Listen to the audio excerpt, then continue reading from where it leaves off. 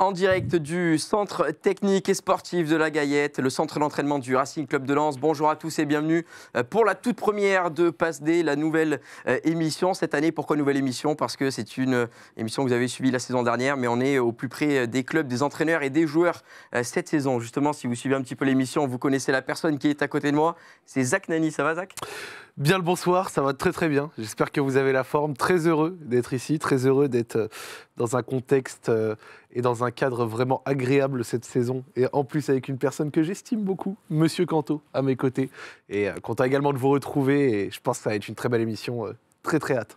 Ben, messieurs, on va se régaler aujourd'hui puisqu'on est avec probablement l'entraîneur qui reçoit le plus d'éloges maintenant depuis euh, quelques années. C'est Franck Hez. Merci Franck de nous accueillir ici au centre d'entraînement. Ben, très heureux de vous accueillir, euh, toute l'équipe. Ben, c'est un plaisir, un plaisir vraiment euh, partagé. Franck, on a envie de, de vous poser euh, mille questions euh, à propos du, Racing Club de Lens. Mais euh, en tout cas, on va voir Francaise, mais on va voir également ses joueurs, puisqu'on aura Loïs Openda, on va voir Florian Sotoka, Jonathan Grady, Eric Sicora, ancien joueur, ancien entraîneur du Racing Club de Lens, maintenant responsable de la post-formation. Et enfin, on terminera avec Arnaud Pouille, directeur général du club. Donc, vous allez en savoir plus si vous êtes supporter du Racing Club de Lens ou tout simplement féru de football. C'est un club qui est très, très apprécié en général chez plus ou moins tous les supporters de France. Hein. C'est vrai que. Oui, oui, oui. Voilà, il n'y a pas d'animosité contre le, le, RC Lens. Non, non, non. Il y en a peu de manière générale, on va dire, parce qu'il y a une énorme cote de sympathie qui, qui, se dégage. Alors, bien sûr, il y a aussi ces rivalités, leur lot de rivalité hein, dans le Nord avec euh, les Lillois. Mais sorti de ça, franchement, il y a beaucoup, beaucoup d'amour et je le vois, ne serait-ce que maintenant. Donc, je le dis en début d'émission. Mais euh, j'ai le chat, voilà. J'ai le chat ici. Je vois vos messages. Donc, s'il y a des moments, il y a une question ou quelque chose euh, d'approprié qui s'en dégage, je, je n'hésiterai pas à porter votre voix auprès des joueurs ou auprès de Franck. D'ailleurs, regarde Franck, tu peux regarder très rapidement, mais ils sont très contents euh, de voir que ah, tu es là. Il y a beaucoup de cœur, il y a beaucoup de, beaucoup de belles choses. Tu vois, ils sont très contents de voir que tu es là, donc ça fait vraiment plaisir. C'est un petit peu l'avantage de Twitch, une très grande interactivité, donc ça fait plaisir. Franck, ça fait quelques semaines que le football de club a, repris après une petite coupure Coupe du Monde. Euh, ça a plutôt bien repris pour le Racing Club de Lens, qui n'est plus qu'à deux points du Paris Saint-Germain. Est-ce que la coupure Coupe du Monde, elle a permis de travailler un petit peu différemment avec les joueurs? Ou est-ce que c'était euh, finalement comme en début de saison, où, on prépare comme si on commençait une nouvelle saison? Elle a permis de, se reposer, en tout cas pour la plupart, deux semaines. Donc euh, en cours de saison, c'est appréciable parce que ça n'arrive pas si souvent. Ouais. Euh, et ça permet de, à tout le monde de se régénérer, aux joueurs et puis aussi au staff.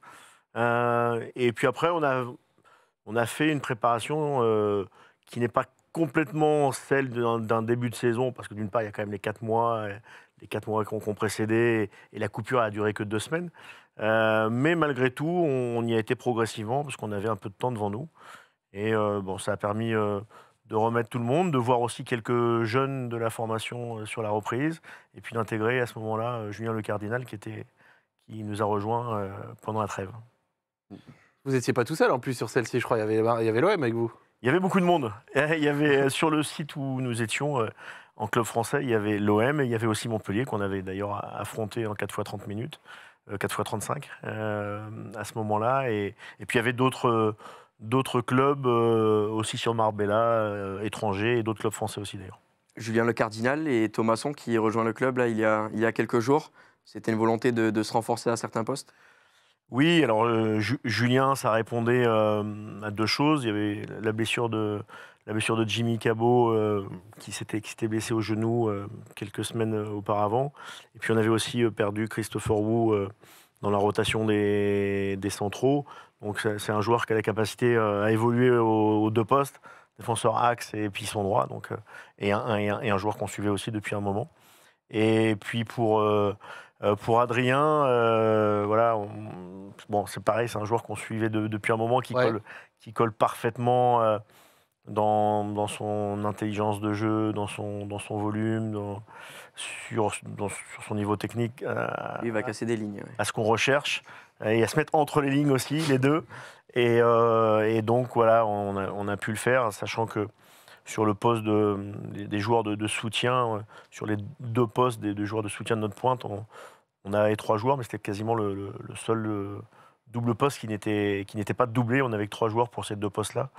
Et, euh, on a, voilà, Adrien étant quelqu'un qu'on suivait depuis vraiment un moment, moi particulièrement, mais là c'est le recrutement, c'était une très belle occasion.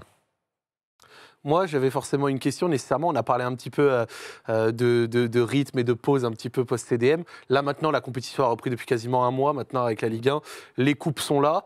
Le rythme de reprise, il est assez élevé ou ça va? Vous arrivez quand même à prendre du temps pour travailler des choses et tout? Ou alors l'enchaînement des matchs commence à se faire un petit peu sentir? Bah, Là, on a enchaîné euh, à la fois la reprise de matchs très très très très proches entre Nice et Paris. Euh, donc on avait pu bien travailler avant Nice, mais entre Nice et Paris, on n'a pas vraiment pu travailler, c'était plus de la récup. Puis là, après, on a enchaîné de nouveau une semaine à trois matchs. Donc euh, il y a des nécessités de récupérer à certains moments, mais on a quand même du temps pour travailler. Et cette semaine, on avait une, semaine classique. Euh, on a fait des, bonnes séances depuis, euh, mardi, donc euh, tout va bien. Franck, quand on t'a vu tout à l'heure, on t'a dit qu'il y avait eu beaucoup, beaucoup de questions sur Twitter avec euh, le hashtag AskEz. Et justement, on va en avoir des, questions euh, qui ont été, euh, qui ont été posées euh, de la part des supporters du, Racing Club de Lens. Donc n'hésitez pas à continuer encore et encore à poster euh, vos questions. C'est euh, Alexian RT94 qui euh, nous dit quel est le plus beau et le plus mauvais moment au club que vous avez vécu? Euh, Alors dans les plus beaux, euh, dans les plus beaux, j'en eu j'ai eu la chance d'en vivre beaucoup. Et euh, je vais prendre, euh, je vais prendre euh, un moment avec la réserve. Oh Voilà. Je vais prendre un moment avec la réserve parce que quand je suis arrivé au club en septembre 2017, euh, bon, la réserve était pas bien commencé. D'ailleurs l'équipe première non plus. Euh, mais euh, voilà, c'était une année, euh, c'était une année difficile. Mais plus que cette saison-là, il y a eu euh, la, la deuxième saison avec la réserve. On, est, on a 8 points à la trêve. Et on, et, on, et on se maintient quand même en faisant 29 points sur la phase retour. Et en se maintenant à la, dernière journée. Euh, très officiellement, la dernière journée, on avait un peu de marge. Mais voilà. euh, j'ai une photo en tête où, sur le terrain franc Blin qui est juste derrière, là, qui est refait magnifiquement, qui a une belle pelouse hybride. Euh, on s'est re- regroupé à la fin de la saison avec tous les joueurs et tout le staff. Et c'est un beau moment de partage. Et du coup, le plus mauvais, parce que c'est on se rappelle des bons souvenirs, mais il y en a, il y en a pas euh, quelques mauvais. Toutes les défaites Ouais, bah, les défaites sont toujours des mauvais moments.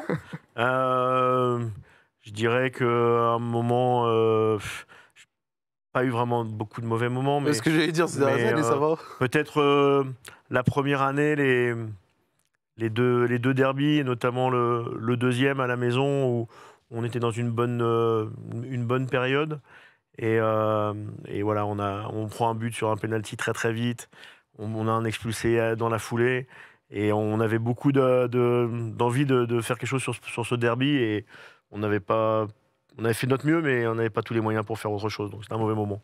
Franck, c'est quoi le secret du Racing Club de Lens en termes de recrutement? On sait que vous recrutez bien, parce que la saison dernière, on a beaucoup de joueurs qui brillent dans un collectif en général. Mais quand on voit le départ de Doucouré, de Jonathan Klaus, d'Arnaud Calimundo, on se dit, bon, ben, pour Lens, ça va être compliqué maintenant d'aller trouver des joueurs qui sont au moins équivalents pour continuer à progresser.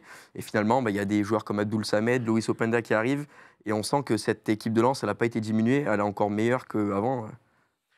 Alors, le secret, il n'y a, y a- y a- y a- il y a pas y a pas de secret, il y a du travail. Voilà, je crois que c'est. Du scouting euh, Il y, a, il y a beaucoup de travail de la, de la cellule de, re- de recrutement depuis, Ouais. depuis trois ans. Alors, euh, il y a toujours les gens visibles dans les clubs. Euh, moi, j'en fais partie, les joueurs en font partie. Et il y a les petites mains. Et puis, il y a les, les- les- les gens du recrutement qui ne sont pas visibles, euh, mais qui, qui travaillent euh, beaucoup et qui travaillent bien. Et sur- surtout, on est totalement en, en lien sur. Ils connaissent parfaitement le projet de jeu. Euh, ils savent ce que, ce que moi ou le staff attendons des, des recrues sur le, sur le plan du jeu. Et puis, au-delà de ça, ils savent, ils savent aussi ce qu'on attend en termes de- d'attitude, d'état d'esprit, euh, euh, parce qu'on ne peut pas dissocier les deux. Et euh, donc, c'est pour ça qu'ils font euh, un très très bon travail, parce qu'à la fin, moi, quand ils me présentent les, les joueurs depuis trois ans, je crois qu'on on est presque toujours d'accord et alignés. Et, et en fait, du coup, c'est assez intéressant d'entendre ça parce que, de manière générale, sans prendre en compte la spécificité euh, d'un poste, vous attendez quoi de manière générale d'une recrue en termes euh, euh, d'état d'esprit, mais même au-delà de l'état d'esprit dans le jeu? Euh, La capacité de répéter des efforts, un volume de course, euh, c'est quoi un petit peu S'il y a quelques spécificités comme ça, vous dites ça, c'est vraiment nécessaire pour ma façon de voir le jeu. Moi, la, la première chose, c'est pas la seule, hein, mais la première chose, c'est je, je veux m'apercevoir dans, les, les- dans les vidéos qu'on me rapporte, et puis moi, quand je regarde les, les joueurs aussi pour me faire mon avis en plus, j'ai affaire à des gens connectés. Voilà. euh, qui répondent aux situations, qui on, voit vite un joueur qui, qui sent le jeu, euh, qui le devance même, Ouais. qui l'anticipe. Et ça, c'est la, je pense, c'est le premier critère. Voilà. Si je devais donner le premier critère, ça serait celui-là du joueur qui est, qui est connecté dans toutes les situations.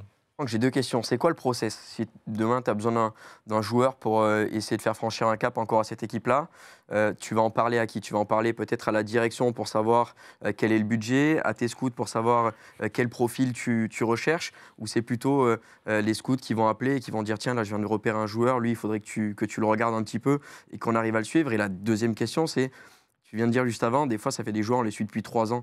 Est-ce que quand tu suis un joueur depuis trois ans et que tu estimes qu'il a les qualités pour franchir un cap et signer dans un club comme Lens, euh, est-ce que tu ne dis pas que c'est un joueur qui peut aussi exploser et coûter trois fois le prix de, ce qu'il vaut en, trois ans Et qu'il peut devenir du coup inaccessible? Euh, alors sans rentrer dans les process parce que mais euh, le process comme, beaucoup d'équipes de, recrutement faut d'abord regarder euh, beaucoup beaucoup de matchs Ouais. mais il faut les regarder avec euh, comme je disais tout à l'heure avec l'œil de ou la connaissance un de notre système Ouais. et deux des animations qu'on qu'on fait dans notre système et, et les recruteurs euh, le projet de jeu par exemple ils l'ont voilà le projet de jeu, on- je leur ai partagé. Ils l'ont et ils ont pu d'ailleurs euh, débattre, le regarder, et- même s'ils le connaissent au fur et à mesure, évidemment. Mais euh, ça, c'est important. Donc, euh, il- quand ils regardent un joueur, ils ne le regardent pas uniquement pour la performance du joueur, mais aussi en se projetant, en se disant, dans notre système, avec les animations euh, qui, sont travaillées, il peut s'intégrer ou pas. Donc ça, c'est la première des choses. Après, il y a bien sûr, évidemment, il y a des joueurs qui nous conviennent, qui, sur lesquels on peut aller. Il y a des joueurs sur lesquels on, voilà, on, on sait que très bien que Ça risque d'être difficile ça sera difficile. Ouais. C'est pas impossible. D'accord. Ça l'est jamais. Ça l'est jamais. Pas jamais, mais, euh, mais tous les joueurs ne sont pas. euh, tout tout- tout n'est pas impossible. Euh, et donc, il faut, faut se garder ça quand même. Je sais, que- je sais que c'est difficile à demander comme ça parce que nécessairement vous avez un devoir de réserve en tant qu'entraîneur, mais vous avez déjà eu un joueur comme ça, peut-être par exemple il y a trois ans, qui n'est pas impossible, mais ça ne s'était pas fait parce que c'était difficile. Non, mais c'est plutôt le contraire. C'est un joueur qu'on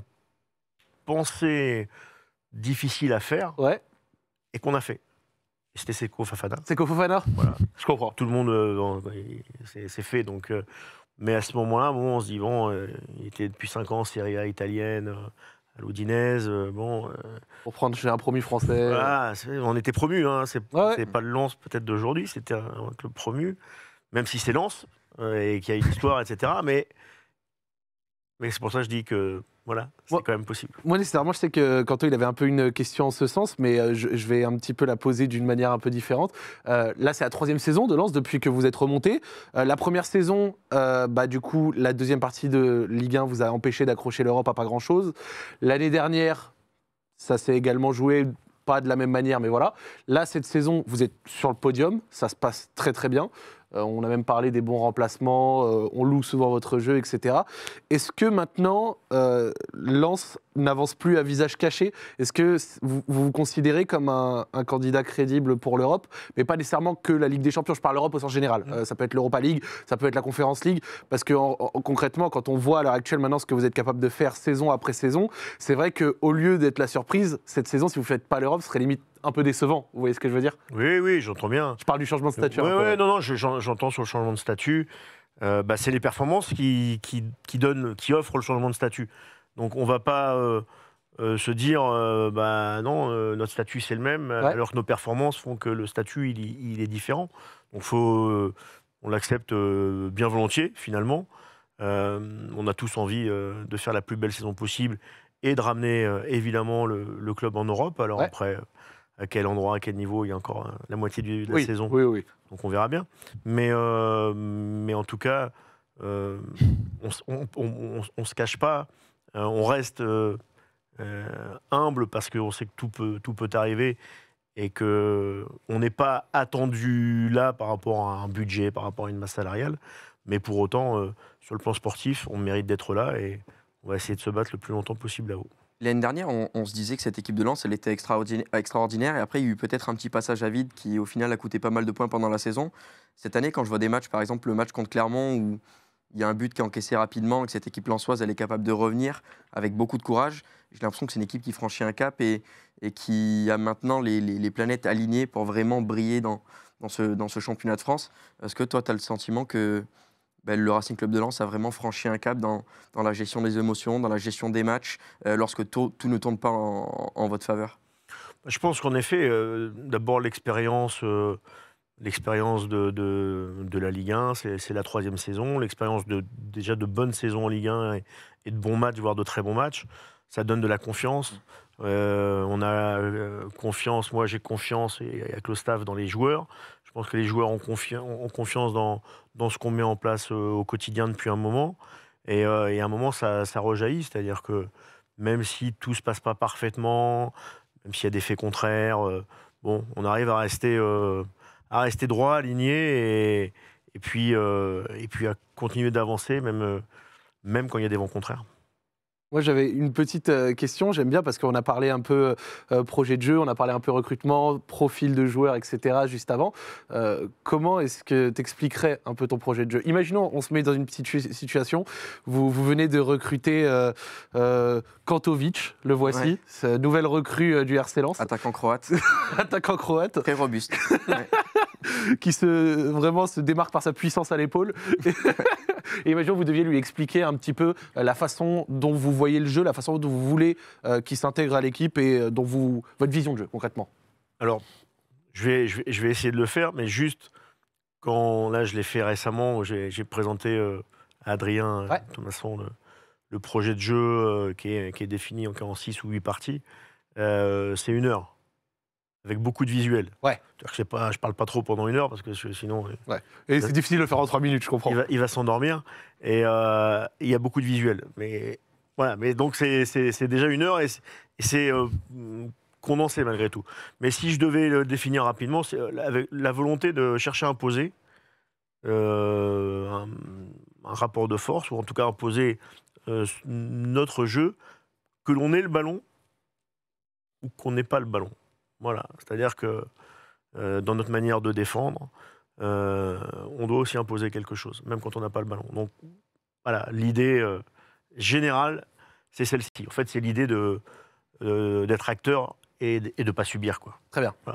En, en 2020, euh, vous aviez donné une interview à 11 Mondial, où dedans, il y avait une phrase, euh, c'était « Si j'avais ma vision d'aujourd'hui, j'aurais été un meilleur joueur, certainement ». Et là, vous parlez du fait de, euh, quand on est joueur, se mettre à la place de l'entraîneur, et quand on est entraîneur, se mettre à la place du joueur.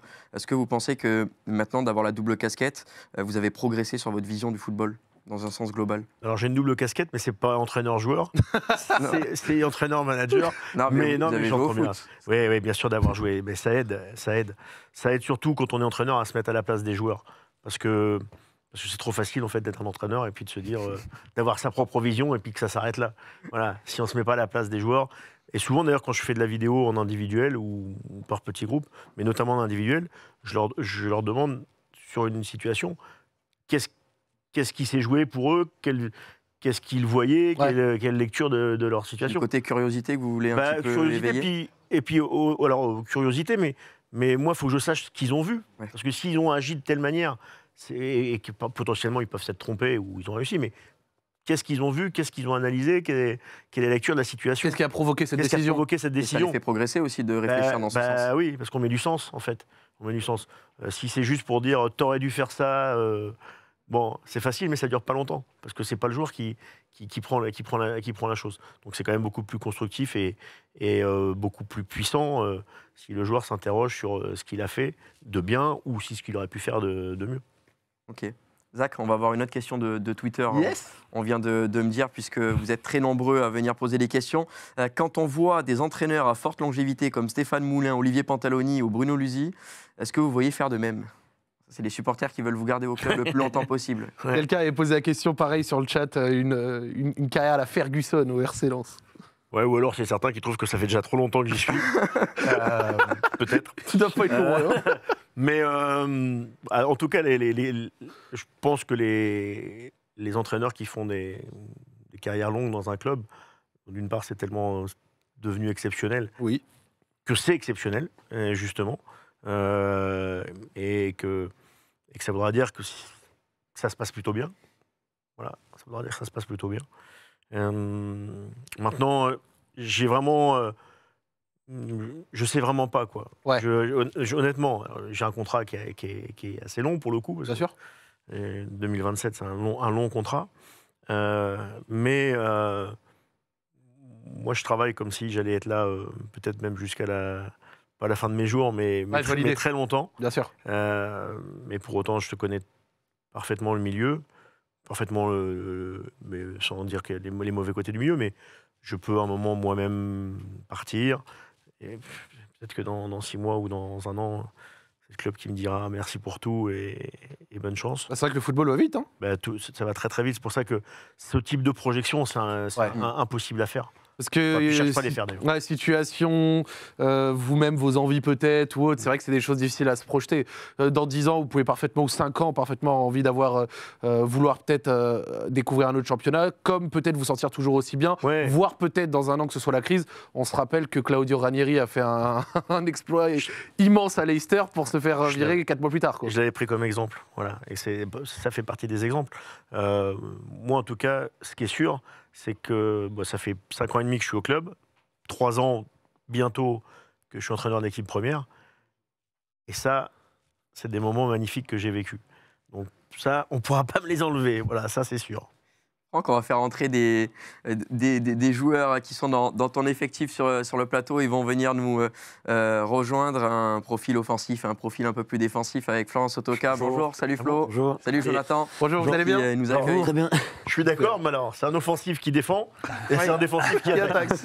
C'est vrai. Ben, ben justement, c'est la question que j'allais poser. On va commencer directement avec, euh, avec une stat. Est-ce que vous savez euh, quel est le joueur dans le championnat de France qui porte le plus le ballon vers l'avant? Je le sais. C'est facile. C'est trop facile. Trop facile C'est Joe. Il il a cru qu'il allait. Non, dire- c'est non, Facundo. Joe, il est 9 Ah C'est ouais Facundo Medina. Ouais, enfin, je... Ouais. Mais alors, C'était question conduite piège. et passe. Conduite et passe. Ah ben, Mètre gagné. Là, c'est le nombre de mètres gagnés. Ah oui. ouais, ouais, donc c'est de- ouais, ça, ça, Facundo Medina ouais, avec à peu près 2500 mètres cette et Flo saison, il a ouais. 1900 mètres, 9e du championnat de Ligue 1. Ah, mais il n'a pas joué pendant 5 matchs. Et voilà, il y a, il y a- il y a eu la, la petite blessure et il y en a un autre, ben justement c'est Danso qui est 5e. Et Ça là- veut dire qu'il y a les trois centraux qui sont dans le top 9 des joueurs qui remontent le plus. Jonathan, 4 mètres de moins que Kylian Mbappé. Prochain match, une petite percée de 10 mètres et, et- et c'est réglé. Non, il ne faut pas forcer les, les stats. Que, Non.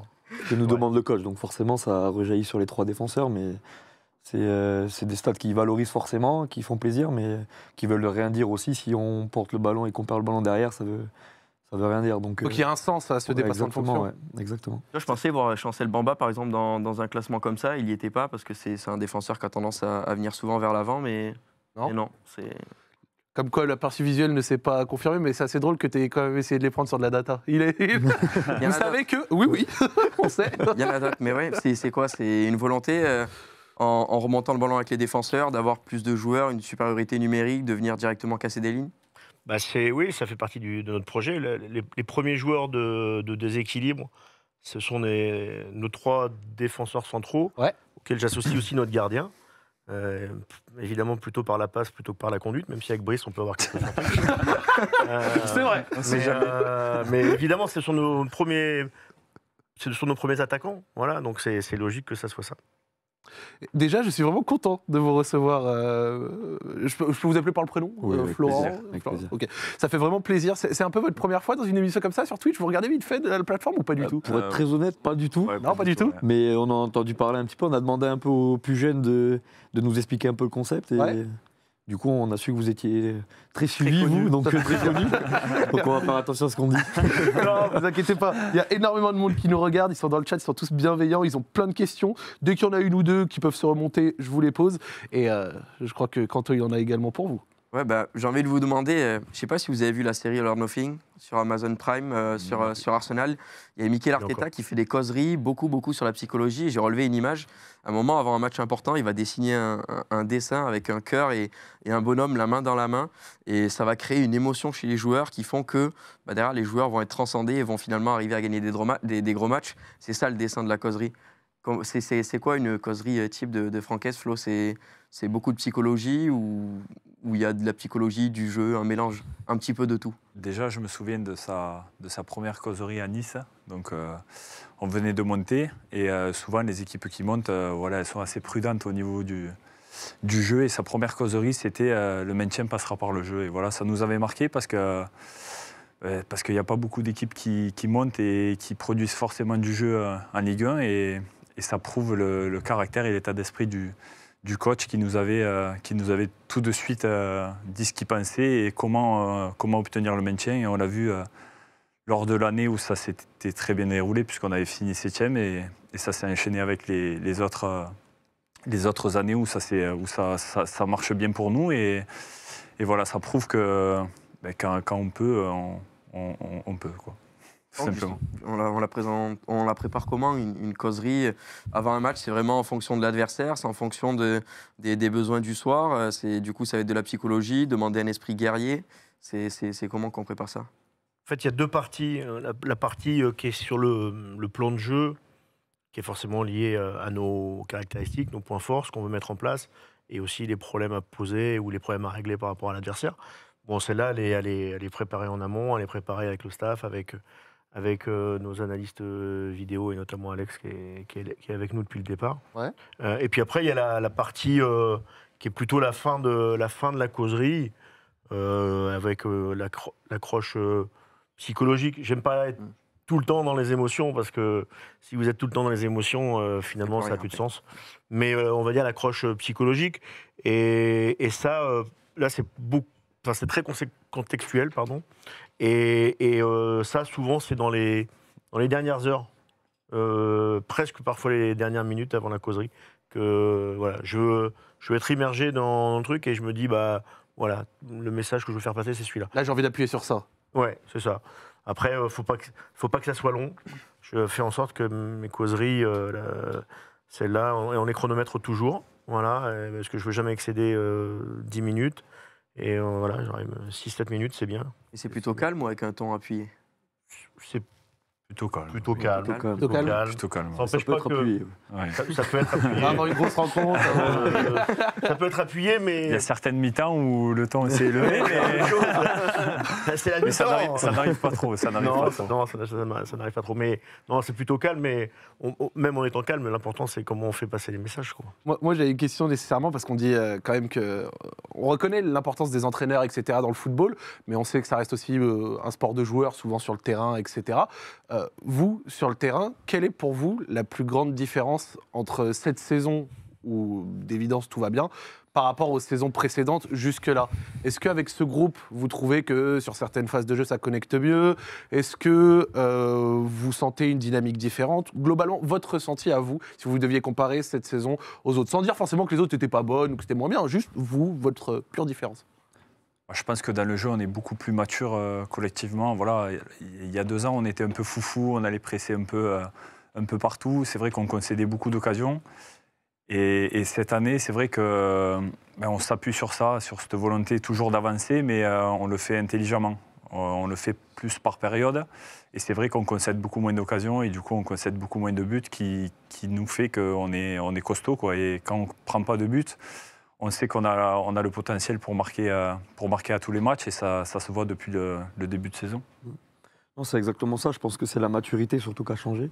L'expérience aussi qu'on a appris euh, chaque saison. Et, et, euh, et moi, nous, par exemple, les trois de derrière, ça Ouais. fait deux ans qu'on joue ensemble. Donc forcément, on a beaucoup plus de repères ensemble. On, s'est- euh, on avait trois langues différentes. Il y en a un qui parle anglais, un argentin et un français. Donc je veux dire, c'est c'est difficile au niveau de la communication. Et maintenant, on se comprend parfaitement euh, dans le langage, dans, dans les déplacements les uns aux autres. Euh, non, il y a eu beaucoup d'expérience. Je pense que ça. Et des, des, des, des fois où euh, la, la saison passée, on pouvait perdre certains matchs en, euh, en voulant pousser ou en voulant marquer. Bah là, on arrive à être beaucoup plus mature et essayer d'être solide avant de, de pouvoir marquer. Et au final, on arrive à, malgré tout, continuer à produire beaucoup de jeux, Ouais. mais en étant beaucoup plus solide. Une dernière question, Franck, et une question pour, pour tous les trois. Euh, à quel classement se situe le Racing Club de Lens en termes de ballons récupérés en France? Oh, il veut vous reprendre sur la date, hein, faites attention. Le, le Ça, coach, le beaucoup les, le coach aime beaucoup les stats. donc, euh, Euh, ballon récupéré. euh, après, c'est ce qui est difficile, c'est que comme on a quand même une possession importante, Mm. on récupère euh, potentiellement moins de ballons que des équipes qui ont moins de possession. Euh, donc pas, f- hmm, pas facile. Et N'importe quelle zone du terrain, le nombre de N'importe ballons. zone. euh, Au global. Je- Petit indice, vous êtes sur la bonne voie avec la réflexion. Oui, Ouais. sur la bonne voie, ouais. On n'est pas forcément dans l'équipe qui en récupère le plus, on est peut-être juste 12e ou 13e. Ah, J'aurais dit 6 ou 7. Ok, et Jonathan? Non, Moi, je suis le coach, il connaît parfaitement les dates. Un petit peu plus loin, 20e. Ah ouais ah ouais Ouais, mais on a- 1085, par contre, en termes de récupération haute Mais sur le terrain, vous êtes 10e. Ok, d'accord. je voulais savoir quelle zone. Ok. Oui. Parce que haute, je sais qu'on est, Ouais, on- dixième, on est ouais. bien. Mais comme on a, on a la deuxième possession maintenant, je pense, derrière le PSG. Donc, Donc, euh, forcément, bah, forcément, bah, euh, forcément, il- inévitablement, ballon, euh, donc tu récupères besoin de la- ouais, ouais. ça. La réflexion était bonne en tout cas. Merci beaucoup, Franck, pour Merci euh, à ce vous. moment partagé avec nous. Eh ben, profitez-en bien, vous avez des bonnes personnes avec vous et d'autres qui arrivent. Excellent. Merci Franck. bonne soirée. Merci, Franck. Bonne soirée. Bonne soirée.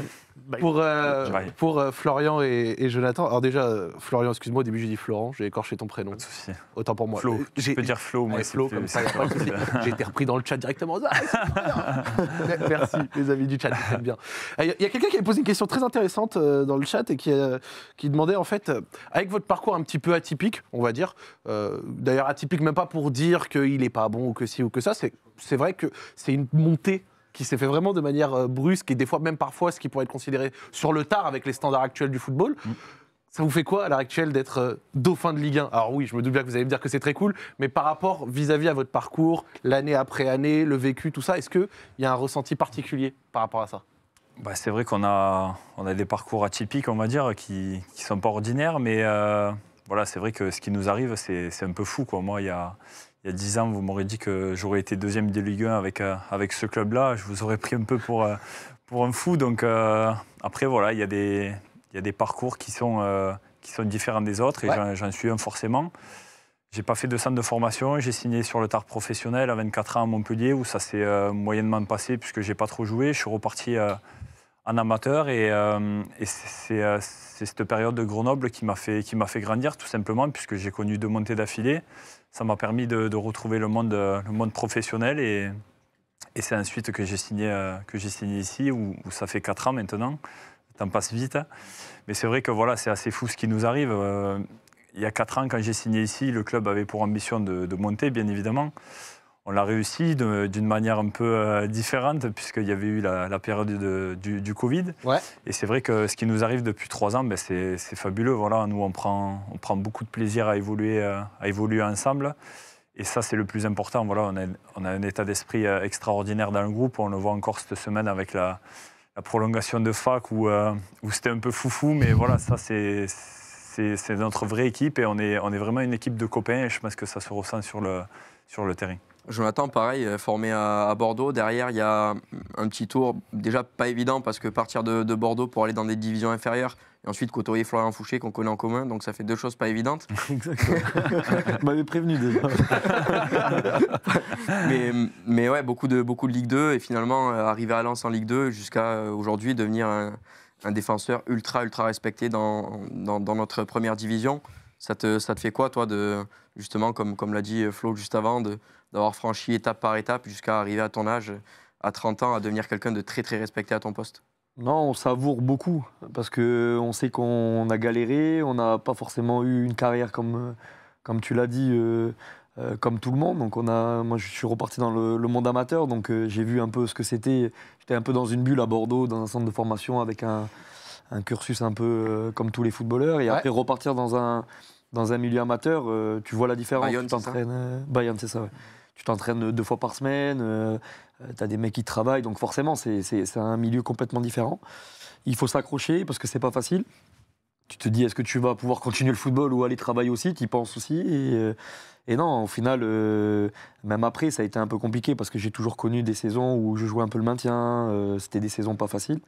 Donc là, oui, forcément, quand on arrive ici, moi, quand je signe ici en Ligue 2, euh, c'était la, même saison que Flo. euh, ben voilà, jamais euh, on aurait pensé, cinq saisons ou quatre saisons après, connaître, une saison comme ça, ou même depuis la remontée, où on vit des moments extraordinaires. Et là, d'ailleurs, on te voit râler, c'est quoi C'est un de tes coéquipiers qui perd le ballon et Ouais. tu, tu râles Du coup, il faut que je cours derrière. du coup, euh, c'est- Le c'est un peu sprint forcé Non, non, ouais, je sais plus pourquoi je râlais. ouais. Il y avait dit non, une faute. Non, il n'y avait pas eu une Ouais, faute sur je faute. crois, Il devait ça, gueuler sur l'arbitre à la Ouais. fin. C'est ça. En plus, il venait de se faire la clavicule et il sort un tacle de, de 10 mètres.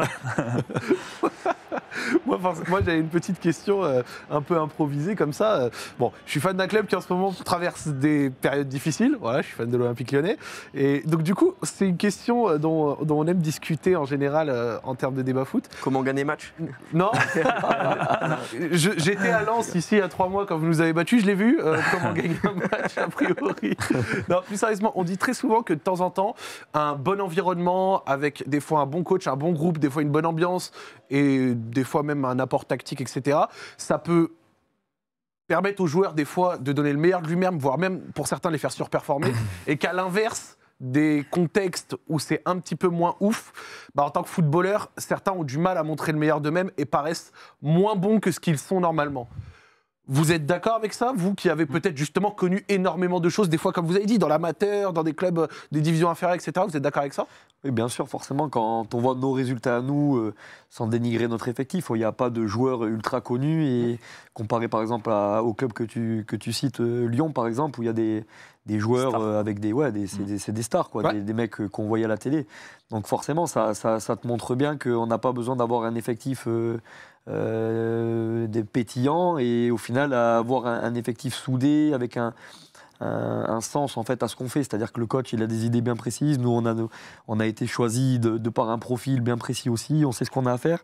Et on a un effectif qui est extraordinaire. Je veux dire, c'est euh, c'est- pas une façon de parler. C'est on vit ensemble euh, à H24. On peut aller en ville avec n'importe qui. euh, Ouais.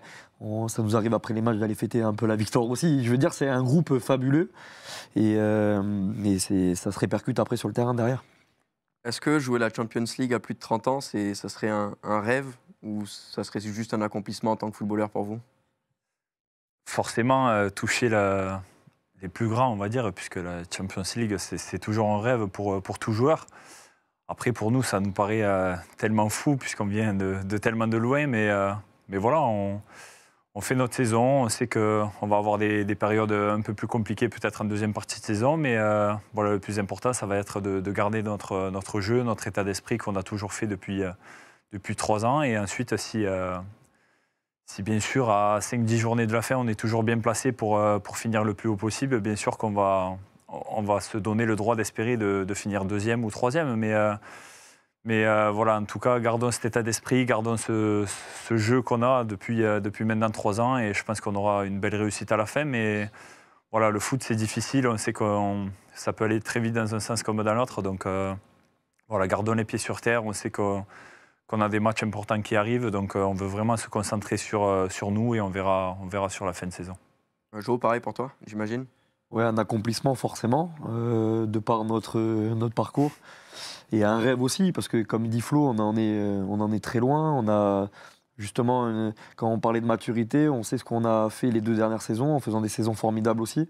Et au final, on a fini septième, on n'a rien joué. Donc il faut, faut aussi être réaliste et attendre. Je pense qu'un le premier bil- le- le- vraiment le premier bilan, ça sera les dix dernières journées de la fin, où Ouais. on pourra peut-être forcément euh, se dire bon là, on commence à approcher, et on peut en parler. Mais là, c'est on vient tout juste de finir les, la phase aller, donc c'est difficile de se projeter. euh, Ouais, c'est encore trop tôt à ton sens? pour moi, c'est encore trop tôt, même si on sait qu'on fait des saisons, une saison extraordinaire avec un record de points historique, etc. On sait que euh, ce qu'on ce qu'on fait, c'est fou, mais le football, ça va tellement vite que demain, on perd trois matchs, on va nous remettre tout en question et, et c'est terminé. Donc, euh, Vois. Surtout avec les locomotives de, de derrière, Marseille, Monaco, Rennes, où ça Ouais, peut ouais, enchaîner les victoires. c'est un passage à Ouais. vide, tu peux vite disparaître. On sait que les, les 3-4 de devant, ils ont un rythme assez fou Ouais, et oui. pour le tenir, ça va être, euh, ça va être difficile. Donc euh, voilà, on ne veut pas se prendre la tête avec ça et on va essayer de, de faire le maximum. Ah, vous avez raison, de temps en temps, la Ligue 1 connaît des locomotives comme ça, où euh, des saisons sur un top 4 peut vraiment avoir une énorme différence par rapport au cinquième, au sixième. Je crois qu'il y a deux ans, en 2021, euh, euh, l'OL, justement, c'est même pas pour revenir sur l'OL, ne se qualifie pas en LDC avec 76 points. Et pareil pour Marseille en 2017-2018, où Marseille avec 77 points, c'est le Marseille de Ah, Rudy Garcia, ne se qualifie pas, Ouais, qualifie c'est énorme. Et 77 points, c'est une euh, moyenne de plus de deux très points par belle match. saison. Donc, euh, c'est- absolument délirant. Il y, a- il y avait quelqu'un qui avait posé une question euh, vraiment super intéressante dans le chat que j'avais vraiment bien aimé. Alors, vous savez quoi? Je... A vraiment perdu aussi. Et que j'ai vraiment perdu à l'instant. Je vais voir à quel point je suis vraiment professionnel. Non, c'est bon, c'est bon, je l'ai. Ah. Pas de souci. Vous avez connu du coup les- la remontée, etc. Il y a Les saisons en 2019, 2020, notamment tout ça. Euh, 2020, 2021, donc des saisons sans stade, notamment, où on se casse en public. Là, depuis, on va dire, allez, plus ou prou un an, un peu moins d'un an et demi, le retour du public est là. Ça se ressent sur vos statistiques à domicile ou à Bollard, vous êtes quasiment euh, imprenable. Euh, le stade est tout le temps plein. Je crois que vous êtes sur une série de. 17, et là, je vais pas sortir le match. 17, il me semble. 17, merci, parfait. D'accord. sur une série 2, t'as dit 17. On est travaille pris. bien, On ça on est bien. Une série de 17 matchs avec le stade euh, euh, plein à chaque fois. Euh, nécessairement, à quel point ça a une influence, ce, ce Bollard, cette ambiance et cette ferveur qui se passe à chaque fois dans Lens quand il y a un match, un truc comme ça. Je l'ai vécu quand, parce que je l'ai vu moi-même quand j'étais venu, quand j'avais traversé Lens pour le match contre Lyon, voir les restos, les bars pleins, les gens, l'effervescence, les maillots partout. La ville vit pour ça. Ouais, c'est sûr que jouer à Bollard euh, dans un stade plein, c'est magique. On sent vraiment une atmosphère euh, particulière et, on le dit à chaque fois. Voilà, c'est tout simplement un, vrai plaisir, un vrai bonheur de jouer devant euh, tant de spectateurs et, à Bollard. Donc voilà, on a la chance de ben, d'y par- participer, d'y être tout simplement. Et c'est vrai qu'il y a deux ans, quand on est monté. Voilà, les supporters attendaient ça depuis tellement de longtemps qu'on n'a même pas pu le, le fêter avec eux, puisque Bah ouais. les, les stades étaient vides, il y avait, les- il y avait des jauges, donc euh, c'était très difficile pour nous et aussi pour eux. Mais c'est vrai que là, depuis voilà, maintenant, depuis un an, un an et demi, c'est vrai qu'on prend. C'est un vrai kiff, quoi, tout simplement. C'est un vrai kiff de jouer à, de jouer à Bollard. Ouais, c'est dur à décrire en fait, parce que quand on est sur le terrain, euh, maintenant on commence à avoir l'habitude, mais on, on, a, on, on a, euh, on a des émotions décuplées. Quoi. On, est, on, on a le sentiment de, de vouloir leur rendre en fait l'appareil en, en allant chercher, en ayant un jeu porté vers l'avant. On est, on est un peu transcendé grâce à eux aussi. C'est Ouais. un- une ambiance vraiment euh, indescriptible. C'est compliqué à décrire, mais Mm. enfin, c'est formidable de jouer dans un stade comme ça. Nous, quand. euh, Enfin, Flo, je pense que c'est pareil. Quand on a signé ici, on nous a dit tu verras le public et tout. Mm. Mais on se fait une image, mais pas l'image qu'on a sur le terrain. C'est, On l'avait vu déjà en Ligue 2, puisqu'il n'y Ouais, avait, y avait 2, pas eu les jauges. Déjà en Ligue 2, on faisait 25, 30 000, c'était assez fou. Ouais. Je le là, dis souvent contre que- Chambly, sans manquer de respect à Chambly. Ouais, bien sûr. Un mardi soir ou mercredi soir, on avait fait 33 000 ou 30 000 personnes. C'est, exceptionnel. Vous sentez est- vraiment la, la passion des gens, donc euh, c'est C'est dingue. c'est assez fou. ouais, c'est assez fou. Flo, quatrième passeur du championnat, 6 buts, 6 passes décisives. Tu es même dans le top 5 des joueurs les plus impliqués sur des tirs. Avec Messi, Neymar, Mbappé, Jonathan David, plus d'une centaine de, de- de tirs où, où soit tu as été à la finition ou à la création. Justement, avec 6 buts et 6 passes D, on se demande si tu préfères marquer ou si tu préfères justement participer au jeu, être un créateur.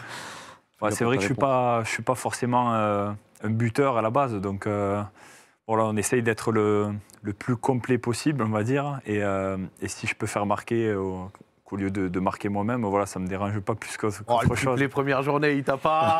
Ah, c'est sûr que mettre, euh, mettre un triplé lors de la première journée, ouais, c'est toujours euh, gratifiant, c'est toujours beau. Donc euh, c'était mon premier triplé en Ligue 1 d'ailleurs. Mhm.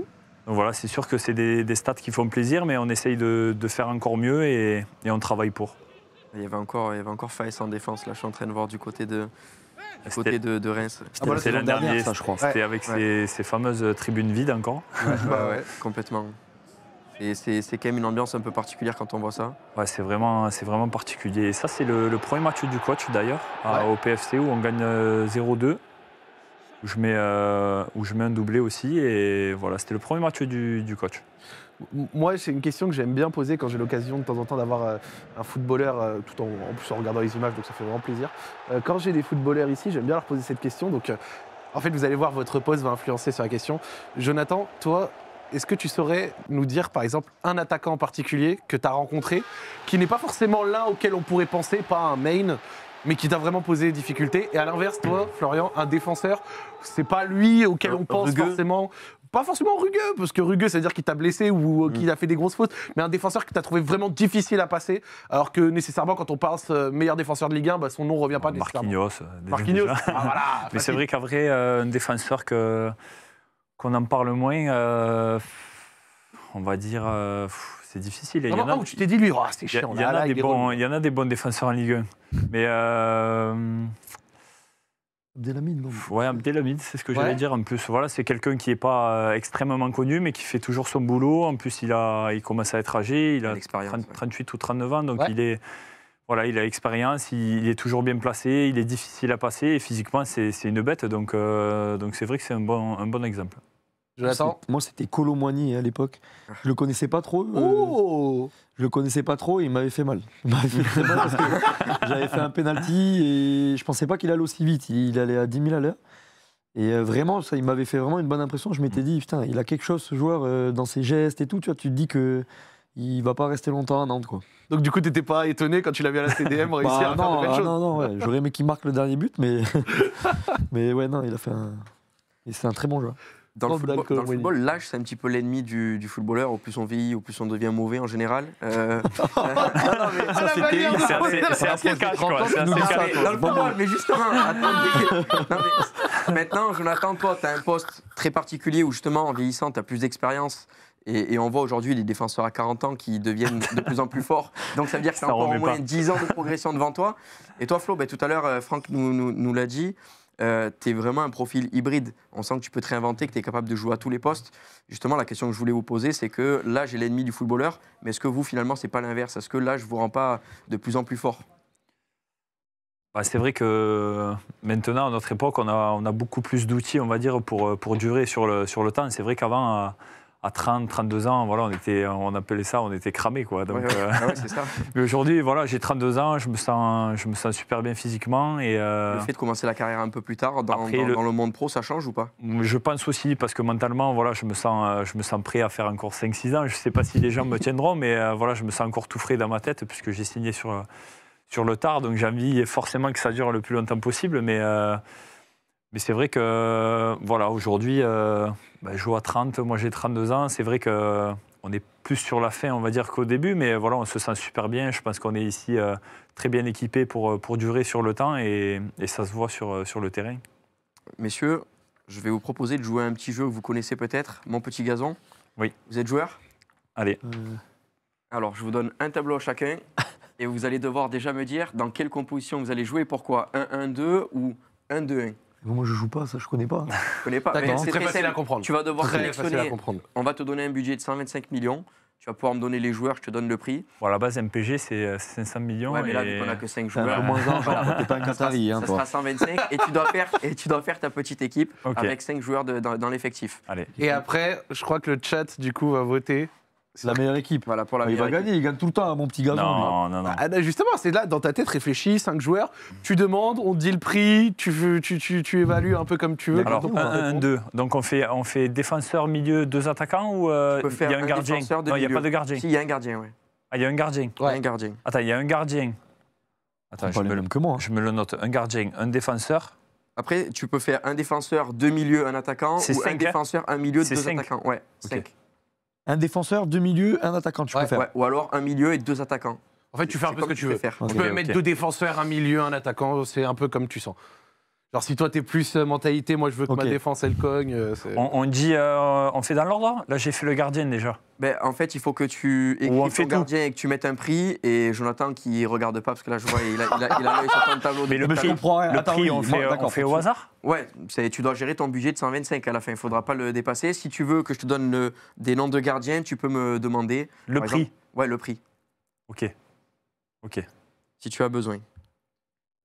Attention, il y a une petite contrainte à budgétaire. à Non, je sais que, par exemple, je sais que Joe est pas très très cher comparé aux Ouais. gros gros défenseurs, donc euh, je peux, c'est, c'est un avantage. Jo, c'est Bien sûr. 13. Ouais, je sais, ouais. Et ce serait vraiment. tu sais combien tu coûtes?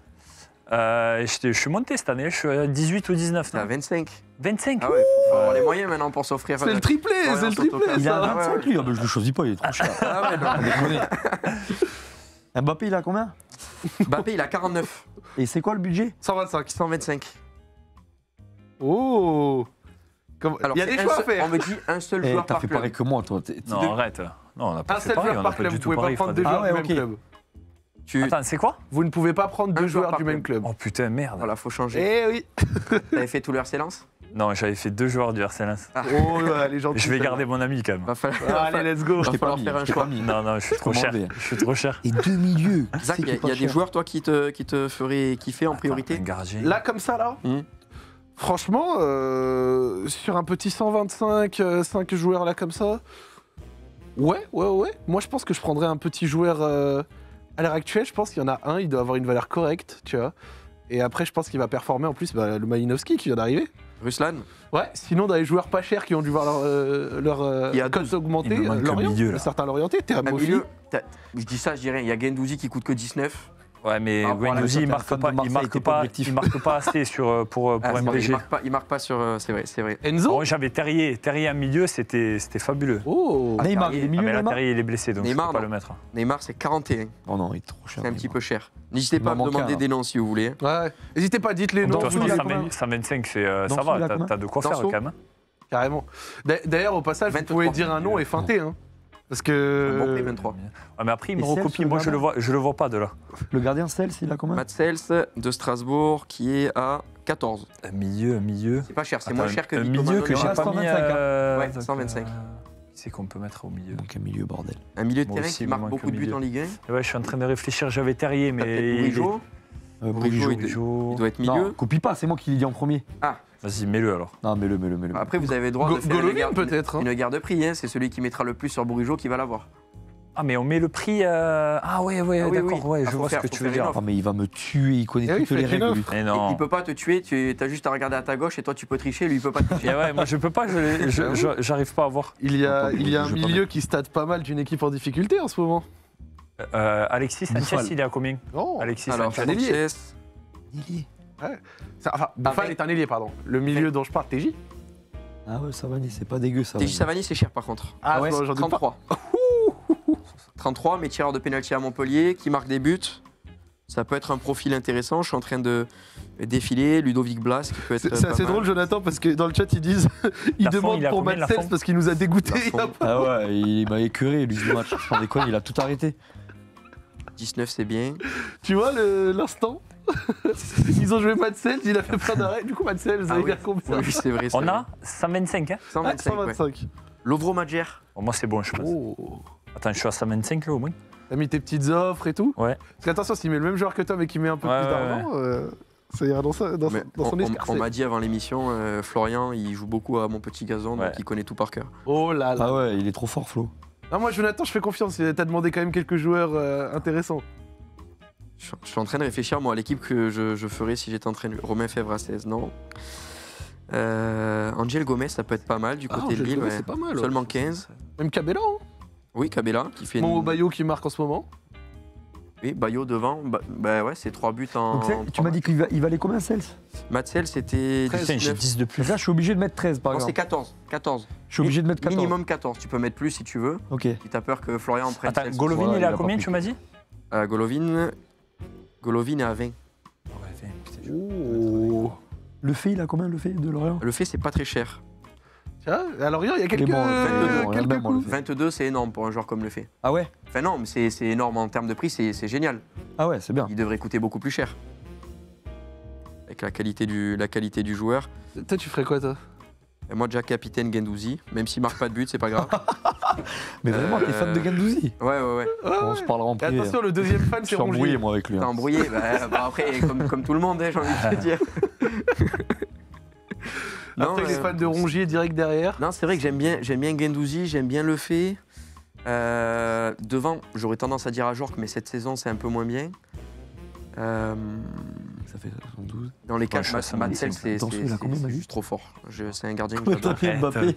Arrête de copier, il copie lui. C'est bon, Danso, il a combien Il a combien, tu m'as dit, Danso Danso, Danso, il était pas cher, c'était 20, je crois. C'est Non, 23, 23, c'est un peu 125, plus hein. cher, 23. 23. Hein C'est 125. Ouais, 125. 125. Bon, je 5 pense fois que je suis bon. 25, Ou alors 1 à Et 10, Savani, un à combien 40. DJ Savanier, 33. Putain, non, je suis pas bien. On a fini du côté de Florian Sotoka. Ouais, c'est bon. Jo, On t'arrives à la fin Attends, je suis à combien Moi, je suis nul en calcul mental. C'est facile. ouais. Allez. Regarde pas Mbappé, t'as pris le même. Non, non, je l'ai pas pris. Il était trop cher. 64, 64, Oh, je vais dépasser. 64, 88. Non, 86, Oula. 86 et 33. 100 109 119. 119 Oh ouais, non, t'es beaucoup trop, Freddy. Beaucoup trop. Ah ouais 119 et, Il va falloir prendre un mec. 119 Faut et jouer à la 23. défenseur. 119 et Il veut jouer à 23. 4. Medina, il a combien, Medina Il est Facundo trop cher, Medina. Facundo Medina coûte 16, c'est moins cher que Danso. Ah, mais je suis quand même trop large. Tu baisses Mbappé. Ah, mais tu vas me prendre parce que. Non, je Jonathan, on va te demander de faire des choix rapides. Je l'ai pas mis à. Mbappé. Il va faire des choix, le match commence Et dans 30 Medina. secondes là, Jonathan. Allez, je commence là, c'est bon. Medina 16. Hein. C'est bon, je suis large là. T'as intérêt de la gagner ce, ce face à face. Hein. là, Bon. tu nous as bien fait, là, tu nous as Non, fait un C'est bon, trailer, tu nous as fait attendre. on, on- on vient de, de m'apprendre que le, le Grady FC vient d'avoir un sponsor qui lui offre 10 millions supplémentaires. donc, euh, ça, part, bon, ça va, ça va le faire. Mais je vous laisse tomber les tableaux et puis on va, voilà, je vous laisse les- Présente-nous ton équipe, Florian. Alors, gardien de but, Lafont. Donc, il a 20, donc j'ai mis à sa hauteur. Ok. puisque- puisque c'est ce que je fais tout le temps euh, en début de saison. Euh, mon ami Jo, 13, valeur sûre. Classique. Sûr de jouer tous les matchs. euh, il a de bonnes moyennes et il est pas cher. C'est un 4-1-1-2 hein, que t'as fait. 1, 1. Non, non. Enfin, un, un, Un, bon, un, deux, ok, ouais. 4, moi je dis. Ouais, ouais, ouais. Ok. Euh, milieu Golovin, parce que euh, au milieu j'aime bien euh, des milieux qui marquent. hein. Donc Ouais. Golovin il, il marque assez, il est, il est peu cher. La casette, valeur sûre quand même du championnat, qui marque euh, beaucoup, beaucoup de pénalty aussi. Et euh, Penalty pour Lyon. C'est ouais. un pic. ça. penalty pour Lyon.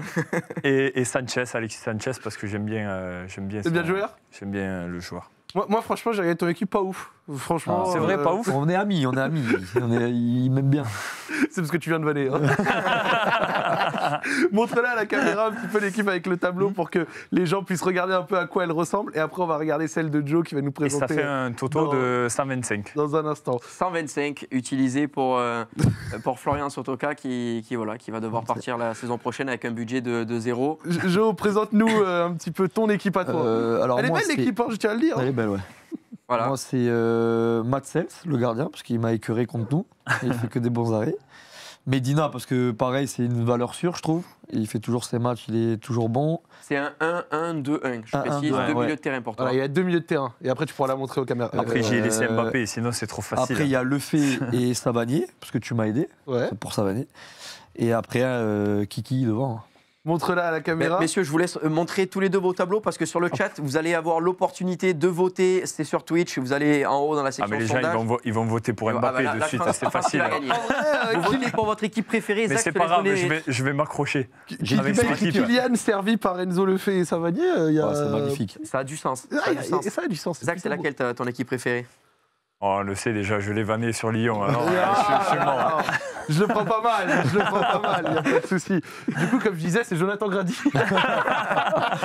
non, en plus, plus sérieusement, je dirais celle de Jonathan Grady, mais j'aime bien la tienne également. Mais j'ai peur que, en fait, Sanchez et la casette, ça fasse deux profils qui sont pas complémentaires de fou. Si je dois parler footballistiquement parlant, j'avoue que je trouve qu'il y a plus de sens euh, chez lui.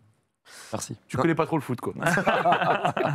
dans, le chat, dans le chat, on va bientôt avoir le, le résultat de cette rencontre pour savoir quelle a été euh, l'équipe euh, l'équipe vainqueur. Oh 50-50, 211 votes chacun. À C'est- c'est où on beau. est en train de parler. Le prochain Ah, vote- ouais, le les gars, vote, oh, il a vous gagné. faites n'importe quoi. Il y a Mbappé, je leur remonte. ultra-. Non, Non, euh, c'est bon, Mbappé, on le connaît trop, il est trop connu, Mbappé, c'est bon. Vaut mieux la, la nouveauté. C'est vrai que la, la tienne, elle est un peu plus originale. Voilà. Ah, Après, original, tu rigoles ou C'est quoi Mbappé, le- tout le monde l'aurait mis à Mbappé. Donc Mais forcément, je me suis dit, je vais bah, pas sur Mbappé. Tu, tu t'es parce qu'il est trop cher. avec Mbappé. Il Ah, fallait mettre, obligé. euh, il fallait mettre Terem Mofi, tu vois, quelque chose de, Ah ouais, quelque chose d'un peu plus Ah, J'ai le original. résultat final. Ah, Ah, ça y est. Victoire de l'équipe de Jonathan Grady, 51 à 49%. ouais, parce que 260 ça, c'est Mbappé. C'est le joueur 1%, obligé, les c'est gars, le 1% de Mbappé. Qu'est-ce que c'était serré C'est- C'est c'est dingue. Si, si tu devais dire un score, moi, c'est une- on va dire c'est un match de futsal. Entre Voilà. les deux là Ouais. Il n'y a pas match. Mbappé au futsal, il sait pas jouer au futsal, Mbappé, non Moi franchement j'allais dire, Joe Grady c'est pas contre toi, hein, mais Ouais. défendre un contre un face à Kiki Ah ouais, ouais, non, dans son équipe. C'est vrai que c'est difficile. Voilà, non, tu la comme ça. C'est difficile. Ça t'aurait eu un peu de mal. Ah ouais, honnêtement. ça c'est sûr. Après, Medina, euh, je pense que Medina en futsal, j'aimerais pas trop jouer contre lui. Je pense que Medina peut prendre rouge contre Alexis Oui. Ah c'est sûr. Il y a, y a- y a des équipes, euh, vous, cette année, qui, qui, vous, ont, qui vous ont marqué, puisque voilà, on est en train de faire un peu la, la compo. Je me rappelle, j'étais au stade au Vélodrome, euh, quand, euh, quand, quand malheureusement j'ai vu cette frappe déviée de, de Balerdi dans, dans- dans les cages. Heureusement pour vous. Mais, euh, mais ouais, c'est quoi les, les équipes un peu qui vous ont marqué? Je pense que Marseille, c'était quand même un match. C'est match référence pour vous. Ouais, Marseille, c'était un match Ouais, difficile, surtout en première mi-temps où euh, c'était dur. Après, en deuxième mi-temps, on avait, on avait repris le jeu quand même. Début mais- de première, je me rappelle, il y a ce centre où il y a un tacle qui passe juste devant le but où, où le, le, le, le, le- le ballon est à un mètre des cages et vous n'arrivez pas à couper, à couper la trajectoire. Mais ouais, il y a eu un petit temps fort euh, dans, dans le premier quart d'heure, je crois, où ça a été chaud. Ouais, c'est vrai que c'était c'était difficile de jouer au Vélodrome. Mais euh, après, une équipe qui nous a marqué. euh, Euh, bah, euh, ouais. Après, vous gagnez tout le monde. donc, Marseille, euh, hein. Ouais, En vrai, surtout Marseille. Marseille, ouais. sur, les- Surtout ouais, Marseille, sur la phase aller, ouais. Ouais. Ils ont mis beaucoup d'intensité et tout, Mm. c'était impressionnant. ouais. Il y a vos équipes qui vont pas tarder à apparaître à l'écran de, de vos équipes de, de futsal. Oh, apparues il y a un instant, Et voilà, ça y est, elles, Elle est sont, belle. hein. elles sont prêtes. Lafont, De belles équipes, Grady, euh, Golovin, Lacazette, Sanchez, Sels, Medina, Lefebvre, Savanier, Bappé. C'est vrai que bon, il y a quand même, il y a quand même deux, deux bien belles équipes euh, euh, ici. En tout cas, messieurs, euh, c'était vraiment cool. Merci beaucoup d'être à avec vous. nous. Et euh, ben, j'espère que vous allez continuer sur, sur ce rythme cette saison-là. Même s'il y a mon On club qui est, aussi. qui est- qui est juste derrière. Euh, je changerai peut-être de discours à la 37e journée si ça joue le titre entre Marseille et entre Lens. Ouais. Mais en attendant, voilà, je vous souhaite le, le meilleur et, et bravo déjà pour, comme on l'a dit tout à l'heure avec Zach, pour le Mm. capital sympathique à l'ERC Lens. Et surtout, vrai plaisir de vous recevoir ici sur Twitch. Ouais, Ça fait vraiment plaisir. Merci, Vous voyez, c'est un peu bon délire. Ouais, Il y avait du bon monde, les gens dans le chat, ils ont plaisir. apprécié. Donc euh, vraiment, c'est top. Merci à vous. Bonne saison et, et continuez à gagner tous vos matchs. Merci beaucoup. Merci. Bon courage pour les prochains, que j'ai vu le directeur général. pas Oh là là là là. On va pouvoir poser Plus sérieux que nous. Pas de problème, on aime bien à bientôt. Allez Zach, ça va être euh, le moment de rentrer dans la deuxième partie d'émission. Cette Oui. fois-ci, je le lance, jingle. Je sais pas si elle était prête, je les ai peut-être pris un petit peu de... Un petit peu de cours, vu que j'avais oublié le premier, voilà, on était dans les émotions, on a, on a commencé, euh, on a commencé l'émission, c'était, euh, c'était la, la première de l'année, et, et franchement, c'est un format qui, qui est plutôt cool, euh, Zach. Ils sont trop drôles dans le Ouais, chat. ouais. En fait, ils pensaient sérieusement depuis tout à l'heure qu'il y allait avoir une annonce de prolongation là, comme ça. Ah oui, sur Twitch, euh, Zach et Kanto, on va annoncer la, la- la Les prolongation. gars, on n'est pas venus les mains vides, il y a une surprise. Attention, on va sortir le contrat. Ouais, c'est ça, c'est ça, exactement. Ah les gars, Allez, Zach. bien que c'est pas un sujet qu'on va euh, euh, aborder ici et je vais laisser Kanto euh, continuer l'émission gentiment. Bah, écoute, on se régale et on va accueillir nos deux prochains invités, deux euh, joueurs et anciens joueurs marquants du club, puisque c'est Eric Sicora et Loïs Openda qui vont venir nous rejoindre ici même sur le plateau. Loïs Openda, voilà, le serial buteur du Racing Club de Lens. Les voilà qui euh, commencent à s'installer. Salut, Ça va bien salut, salut, ça va et toi Ça va Tranquille, bien, enchanté, ça fait super plaisir. Ravi. Merci. Bonjour. Bonjour, vous allez bien Salut, ça va Bon, Loïs Vas-y. Openda, que vous connaissez tous si vous suivez un petit peu le, le Racing Club de Lens, et, et Eric Sicora, que vous connaissez évidemment si vous êtes supporter du Racing Club de Lens. Après, pour les plus jeunes qui supportent d'autres clubs, peut-être un petit peu moins, mais joueur emblématique du, du RC Lens, comparé à Baresi, me semble-t-il, par Guillaume Varmuse, euh, le Baresi du, du Milan, puisqu'il a fait toute sa carrière au Racing Club de Lens. Et puis derrière, ben voilà, carrière de- d'entraîneur de, de la réserve, carrière d'entraîneur de l'équipe principale. Et aujourd'hui, responsable post-formation, c'est bien ça le, C'est ça. le CV a été, a été correct à peu près? T'as bien résumé. eh ben, bah, ça va, c'est que j'ai pas trop mal fait mon travail pour, pour une fois. Merci d'être d'être avec nous pour, pour ce, ce- ce petit moment. C'est c'est intéressant d'avoir un, un choc des générations avec euh, Eric qui a fait partie de la grande épopée lançoise et, et toi, Loïs, qui peut faire partie de, de la prochaine euh, épopée euh, lançoise. Loïs, voilà, ton, ton début à Lens est, est dingue. Il y, a eu, il y a eu ce match avec ce triplé où tu es rentré sur le terrain. Il y a cette ferveur populaire du côté de Lens. Ça te fait quoi de- d'évoluer dans un club comme ça? Bah, déjà, c'est avec euh, beaucoup de joie, beaucoup de plaisir d'évoluer dans, dans ce club. Je pense que le début de saison qu'on fait pour l'instant est, euh, est magnifique et on ne compte pas s'arrêter euh, maintenant. On compte continuer comme ça jusqu'à la fin de saison, se donner à fond et, euh, et voilà, montrer qui est le, qui est le RC Lens. Il n'y a pas de raison que ça continue pas. Moi, j'avais une petite question comme ça rapide. D'ailleurs, ça fait très plaisir parce qu'il y a beaucoup de gens dans le chat euh, qui disent cap- capita- capitaine, capitaine, capitaine Sico. Donc, euh, ils sont très contents de vous voir ici. Ça fait vraiment euh, super plaisir. Loïs, moi, il y a, eu il n'y a pas si longtemps une action euh, de ta part qui ne l'a pas fait qu'à moi, mais qui m'a fait littéralement euh, comme ça un petit peu ouvrir la bouche. Euh, le but face à Paris. Est-ce que ce but euh, face à Paris, tu peux nous le raconter dans ta peau? Genre entre le moment où le ballon vient, le moment où tu décides de mettre le dribble et tout ça un peu, est-ce que tu serais capable de, de nous en parler de ce but en particulier? Bah, il n'y a pas de souci. Euh, bah, déjà, je pense qu'on part sur une, euh, un- une belle récupération de l'équipe. Ouais. Après, on connaît Seco. Une fois qu'il a le ballon, il est très dangereux. Euh, il connaît très bien ma qualité. Il m'a mis un ballon parfait en, en profondeur. Après, je pense que j'ai j'ai pu bien jouer avec mon corps pour pas que Ramos passe devant moi. Et après, euh, après ce qu'il y avait dans ma tête quand je suis arrivé euh, devant le but, j'étais sur mon pied gauche. Et euh, je me suis dit, ne tire pas de ton pied gauche, va sur ton pied droit si tu veux marquer. Ouais, t'as pas eu confiance, pied gauche? C'est pas que j'ai pas eu confiance, mais que je savais que si j'allais de mon côté droit, j'allais, réussir à faire quelque chose. Ok. Après, euh, je sais pas, c'est un instinct et c'est quelque chose que j'ai senti que Marquinhos venait. Ouais, le feeling du moment. Ouais, c'est le feeling. Et après, ben, c'est juste un geste technique que j'avais réussi à faire aussi il n'y a pas longtemps contre Lorient auparavant, où Ouais. j'ai pu marquer du gauche. Là, je l'ai fait pour arriver sur mon pied droit. Après, c'est voilà, le geste qui vient rapidement et, la finition qui vient aussi rapidement. Et après, elle va dans le but et, voilà, je pense que tout le monde est, est content. Ok, oui. On va faire, on va faire entrer Thomas, euh, Thomas Dozer qui est, qui est avec nous. Ouais, je te- je t'en prie, viens ici. Bon, humoriste que vous connaissez euh, très très bien, qui est sur euh, toutes les plateformes, les plateformes de, de vidéos et surtout grand supporter du Racing Club de Lens. Ouais, c'est pour ça que je suis là aujourd'hui. ouais. Voilà, tu, tu dois être comme un dingue avec, euh, avec euh, Eric Sicora juste à côté de toi. Bah, Eric, on a déjà eu l'occasion de parler une fois ensemble il y a longtemps, mais euh, ça, ça me fait bizarre de voir Eric ici et surtout ça me donne envie de directement de poser une question parce qu'on a ce, ce RC Lens qui a pas mal changé ces derniers temps et Eric a connu bah, toutes les phases euh, ces derniers temps et il y a eu une phase un peu difficile qu'on appellera la phase de transition du, du RC Lens euh, à l'époque où euh, notre sponsor était Azerbaïdjan Land of Fire. À quel moment, après toute cette période un peu plus noire pour le club, tu t'es dit ça y est, le club me ressemble à nouveau? En fait, c'est depuis, depuis quelques années, avec l'arrivée de, Philippe Montagnier. Les choses ont commencé à se mettre en place. Il y a eu l'arrivée aussi de Joseph Ougourian, qui a été très importante parce qu'on voit aujourd'hui dans, des clubs des, personnes arriver avec euh, euh, de l'argent, mettre de l'argent, mais pour essayer d'en récupérer. Et à la différence, je pense que Joseph, il est tombé amoureux du club. Et c'est devenu un passionné. Et la différence avec d'autres clubs, euh, elle se joue peut-être là. Et puis aujourd'hui, tout le monde est à sa place. Il n'y a personne qui déborde. Il y a Joseph, il y a, il y a Arnaud, il y a le, le staff euh, technique avec euh, Franck et, et- et la cellule de recrutement. Et aujourd'hui, tout le monde bosse ensemble. Et euh, ce qui fait qu'aujourd'hui, il y a des résultats. Il y a eu aussi le- un recrutement qui a été fait depuis quelques années qui est hyper cohérent et où on, on fait des bonnes pioches. Euh, il y en a un qui est, qui est à côté. Euh, Loïs, non mais c'est vrai. Et Oui, t'as une bonne pioche, Louis. donc, euh, non, mais, non, mais c'est vrai parce Un que quand, quand on parle, on parle le, le- le club va bien, mais dans le recrutement, on a eu des joueurs euh, qu'on connaissait pas forcément et qui ont, qui ont tous explosé ici. Donc il faut aussi tirer un coup de chapeau à, cette cellule-là et au club d'avoir bien travaillé, d'avoir investi. Donc euh, ça c'est hyper important et les résultats qu'on a aujourd'hui. euh, il y a le staff, il y a les joueurs, il y a le public, et aujourd'hui tout est réuni pour, pour réussir. Alors le chemin est encore long, attention, hein. mais en tout cas, on reprend du plaisir à aller au stade.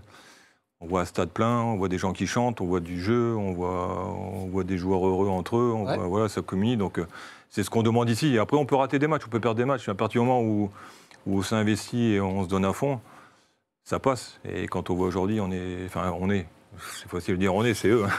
Ils sont à 10 sur 10, ça, prouve euh, cette envie et cette ferveur. J'avais une question, moi, quand on est directeur de post-formation, comment est-ce que on travaille le rapport entre, par exemple, un recrutement à venir, imaginons euh, sur un poste, et vous, le fait que peut-être dans vos jeunes, vous ayez déjà peut-être quelqu'un de prometteur à ce poste qui risque d'être peut-être prêt à court, moyen terme. Comment est-ce qu'on sait, OK, là c'est OK, on va boucher personne, ou alors là, tiens, peut-être que ce jeune, il en vaut la peine? Bah, après, on est ouvert à, à toute proposition. On est souvent sollicité. Après, c'est pas, il n'y a pas que moi. Ouais. Il y a la cellule de recrutement chez les pros. Il y a aussi euh, Eric Assadan au niveau de la- du centre de formation. Ouais. Et on échange énormément.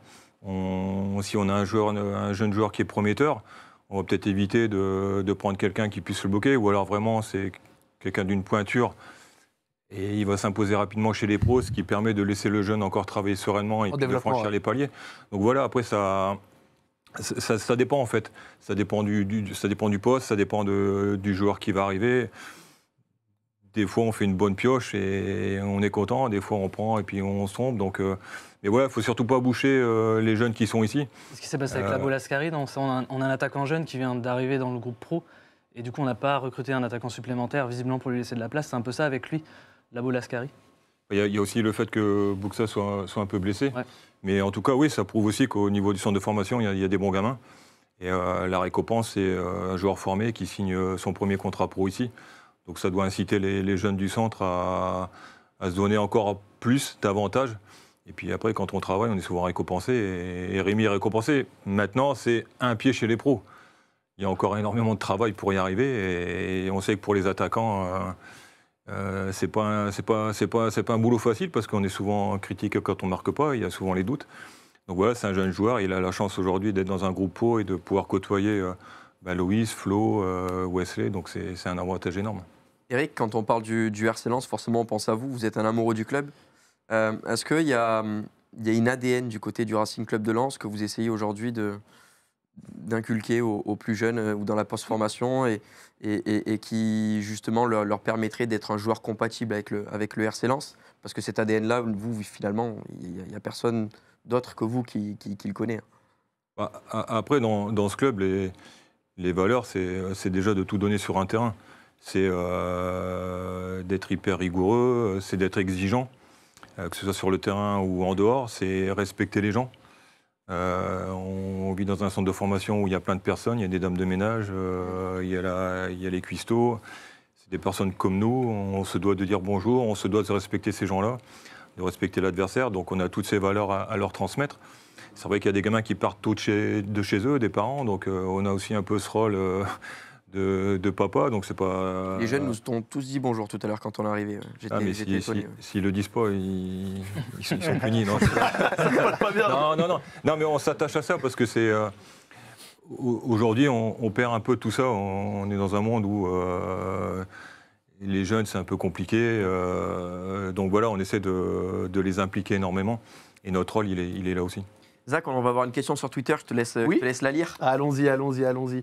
On, on sait qu'il y a pas mal de gens qui posent pas mal de questions, elle va être affichée. Salut Loïs, comment se passe la transition entre le championnat néerlandais et la Ligue 1 Alors, on sait Eh, que C'est tu- c'est exactement la question que j'allais lui poser. J'allais- je vais même étoffer un peu la question. Tu as connu le championnat belge, le championnat hollandais. Est-ce que euh, le championnat de France est plus exigeant physiquement en termes de travail? Est-ce que tu as senti un- une éthique de travail différente entre les, les différents championnats dans lesquels tu as évolué? Euh, exactement, j'ai évolué dans le championnat belge. Après, euh, j'ai euh, j'ai pris quand même assez d'expérience aussi dans le championnat belge, même si j'ai pas joué énormément. Ouais. Je sais que c'est un championnat qui est pas du tout facile, où euh, aussi les méthodes de travail au Club de Bruges étaient, euh, bah, c'était parfait. On, avait un, un bon groupe, on avait préparateur physique pour être euh, en forme pour chaque match et c'est ça qui Ouais, ça fait se que, bien. c'est ça qui fait que le club de Bruges performe ben, chaque année. Après la transition en Hollande, c'était beaucoup plus différente parce que c'était pas vraiment la même chose qu'en Belgique. Euh, le championnat hollandais, on le connaît très bien parce qu'on sait très bien que pour un attaquant qui va là-bas, c'est pas c'est pas dur, mais c'est pas facile aussi parce que marquer des buts, on dit qu'ok, le championnat hollandais, les défenseurs sont moins forts qu'en Belgique, mais après c'est c'est comment le comment l'attaquant va gérer ça. Et moi, je pense que j'ai plutôt bien géré la, la transition pour aller vers euh, la Hollande. J'ai pu marquer assez de, de buts euh, à Arnhem. Ouais. Et quand je suis venu en France, ben, tout était différent. C'était différent de la Belgique, différent de, de la Hollande, parce qu'ici, c'est plus physique, on demande plus de d'intelligence, de, concentration, parce que euh, parce que c'est la Ligue 1. La Ligue 1, c'est un des cinq meilleurs championnats en- ici en Europe. Et euh, forcément, c'était euh, c'était pas facile au début, mais euh, le club a bien géré la préparation pour que je sois prêt dès le premier match. Et je pense que ça se voit que tout a été bien géré depuis le début ici avec moi. Moi- Moi, j'ai un, un petit peu une question par rapport à quelque chose. Euh, comment est-ce que tu as géré le rythme comme ça sur une année un peu inédite, une année de Coupe du Monde? Entre, Avec euh, du coup une coupure, être au club, devoir revenir et tout machin, c'est comment? Ben, j'ai déjà eu ça hein, quand j'étais chez les jeunes. On avait souvent ça aussi. euh, ben, quand il y a les matchs, ça se coupe. Après, il y a directement l'équipe nationale, donc j'ai assez l'habitude. Ouais. J'y suis depuis que j'ai 15 ans en équipe nationale, donc forcément, c'était pas quelque chose d'assez difficile.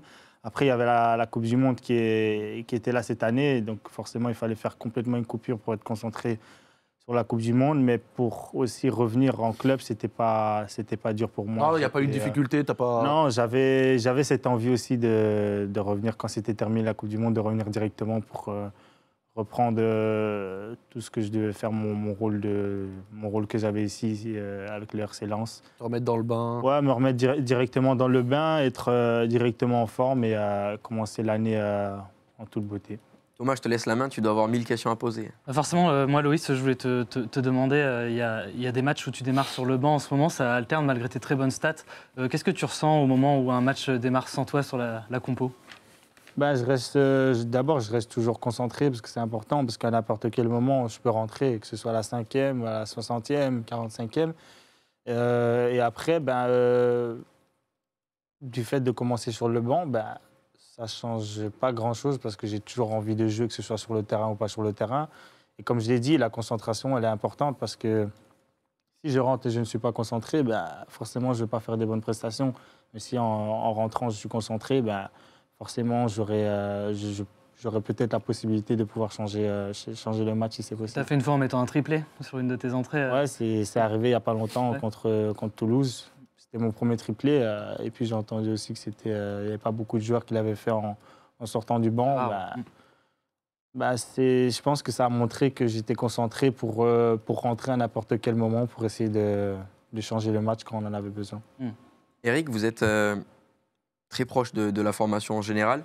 Vous voyez les générations passer les unes après les autres.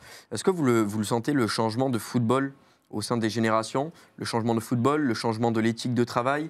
Euh, Est-ce que les jeunes de maintenant sont plus travailleurs, plus feignants qu'auparavant Parce que il y a des évolutions dans le football euh, qui font qu'aujourd'hui, avec les nouveaux dispositifs, on peut le voir avec des rôles de piston, on a des joueurs qui sont de plus en plus offensifs, un football qui est peut-être un petit peu différent de euh, ce qu'on pouvait voir euh, auparavant. Et surtout, les jeunes joueurs, lorsqu'ils signent à l'étranger, ils arrivent tous en disant Waouh, le travail à l'étranger n'a rien à voir avec le travail en France. Et on, attend on entend les entraîneurs étrangers dire Les jeunes Français, quand ils arrivent, ce sont des feignants. Est-ce que toi, tu, le sens, tout ça, l'évolution dans le caractère, dans la manière de jouer, dans l'implication, dans, tous ces aspects-là du côté des jeunes au fil des générations Je ce sont des fainéants, c'est c'est des mecs qui bossent. Après, la mentalité dans les, dans les pays étrangers, elle est, elle est différente. Donc, euh, je suis pas, pas trop d'accord avec ça. Ça veut dire qu'en France, on ne travaille pas et on fait rien. Ce que Alors qu'on a beaucoup de, joueurs, euh, de jeunes joueurs qui partent, on a beaucoup de joueurs français qui partent à l'étranger et qui Mm. réussissent et qui font des très belles carrières. Donc, euh, c'est un peu. euh, c'est un peu bizarre, mais bon. Non, après, le, chez les jeunes, euh, je trouve que c'est le, c'est le goût de l'effort. Euh, mais je pense que c'est pas uniquement dans le football. Euh, J'ai des enfants aussi et souvent quand on dit t'inquiète, euh, c'est là qu'il faut être en danger, qu'il faut être sur, ses, sur, sur le qui parce qu'on se dit ouais, il, il a compris, mais t'inquiète, ça va être fait dans en- pas tout de suite. Mais non, je trouve que c'est un peu. J'avais encore une équipe l'année dernière, je trouve que c'était un peu moins passionné. Alors, ce qu'on leur, a- ce qu'on leur a dit, c'est que a- moi j'ai été joueur, j'étais défenseur, je regardais les matchs et je regardais celui qui jouait à mon poste. Ça me permettait d'apprendre euh, comment venir fermer, sur, Ouais. offensivement, défensivement. Comment ils gèrent ces situations Aujourd'hui, quand on leur dit de regarder un match, ils vont retenir un geste technique de Neymar, alors que c'est un défenseur central, ou, une roulette, ou un truc comme ça. Et je trouve qu'ils sont un peu. Ils, ils regardent les matchs, mais ça peut être aussi une source de progrès, un match. Ça peut te permettre de voir des, ton positionnement, comment intervenir par rapport à tes caractéristiques, aussi comment défendre par rapport à un adversaire qui est petit, grand. euh, tu dois t'adapter aussi à tout ça. Donc, euh, je trouve que cet outil-là, ils ne l'utilisent pas assez. Maintenant, euh, c'est quand même des mecs qui bossent. Après, forcément, il y a toujours des mecs qui sont un peu en avance sur d'autres, d'autres qui récupèrent le retard parce qu'ils sont un peu plus travailleurs et ils sont à l'écoute du coach. Aujourd'hui, il y a l'environnement aussi qui est, qui est très important et qui n'est pas toujours. Euh, Martin, bon. bah, il ne facilite pas le travail des coachs Ok. et, et des directeurs de centre de formation. Euh, parce qu'on on a, enfin, on a quand même une petite expérience de joueur ou, ou d'entraîneur ou d'éducateur. Et quand on est ici, c'est pour amener le, le joueur le plus haut possible, l'amener au plus haut chez les pros. Maintenant, s'il ne réussit pas à Lens, mais qu'il réussit une bonne carrière à l'extérieur, on est aussi content et on a fait le travail. Et de temps en temps, on a l'impression qu'on voilà, qu'on qu'on veut, qu'on qu'on veuille faire partir le, le gamin parce qu'on va lui faire croire qu'ailleurs c'est mieux, euh, qu'il va gagner beaucoup plus d'argent.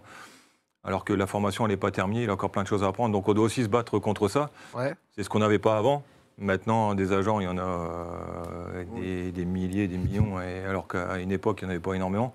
Donc voilà, il faut aussi lutter contre ça. Mais après, euh, voilà, on est ici pour, euh, au club, on a, une identité, on essaie de, la garder, de les faire travailler dans, dans ce sens-là pour les amener le, plus haut possible, et, on y arrive. Après, c'est à nous d'établir des bons groupes avec des joueurs de, caractère, des mecs qui vont bosser, euh, qui sont peut-être pas des, des super joueurs, mais on sait qu'avec ces mecs-là, ça va travailler dans un groupe, ça va faire progresser les autres, mais les autres vont les faire progresser aussi. Et des fois, on a des très bonnes surprises.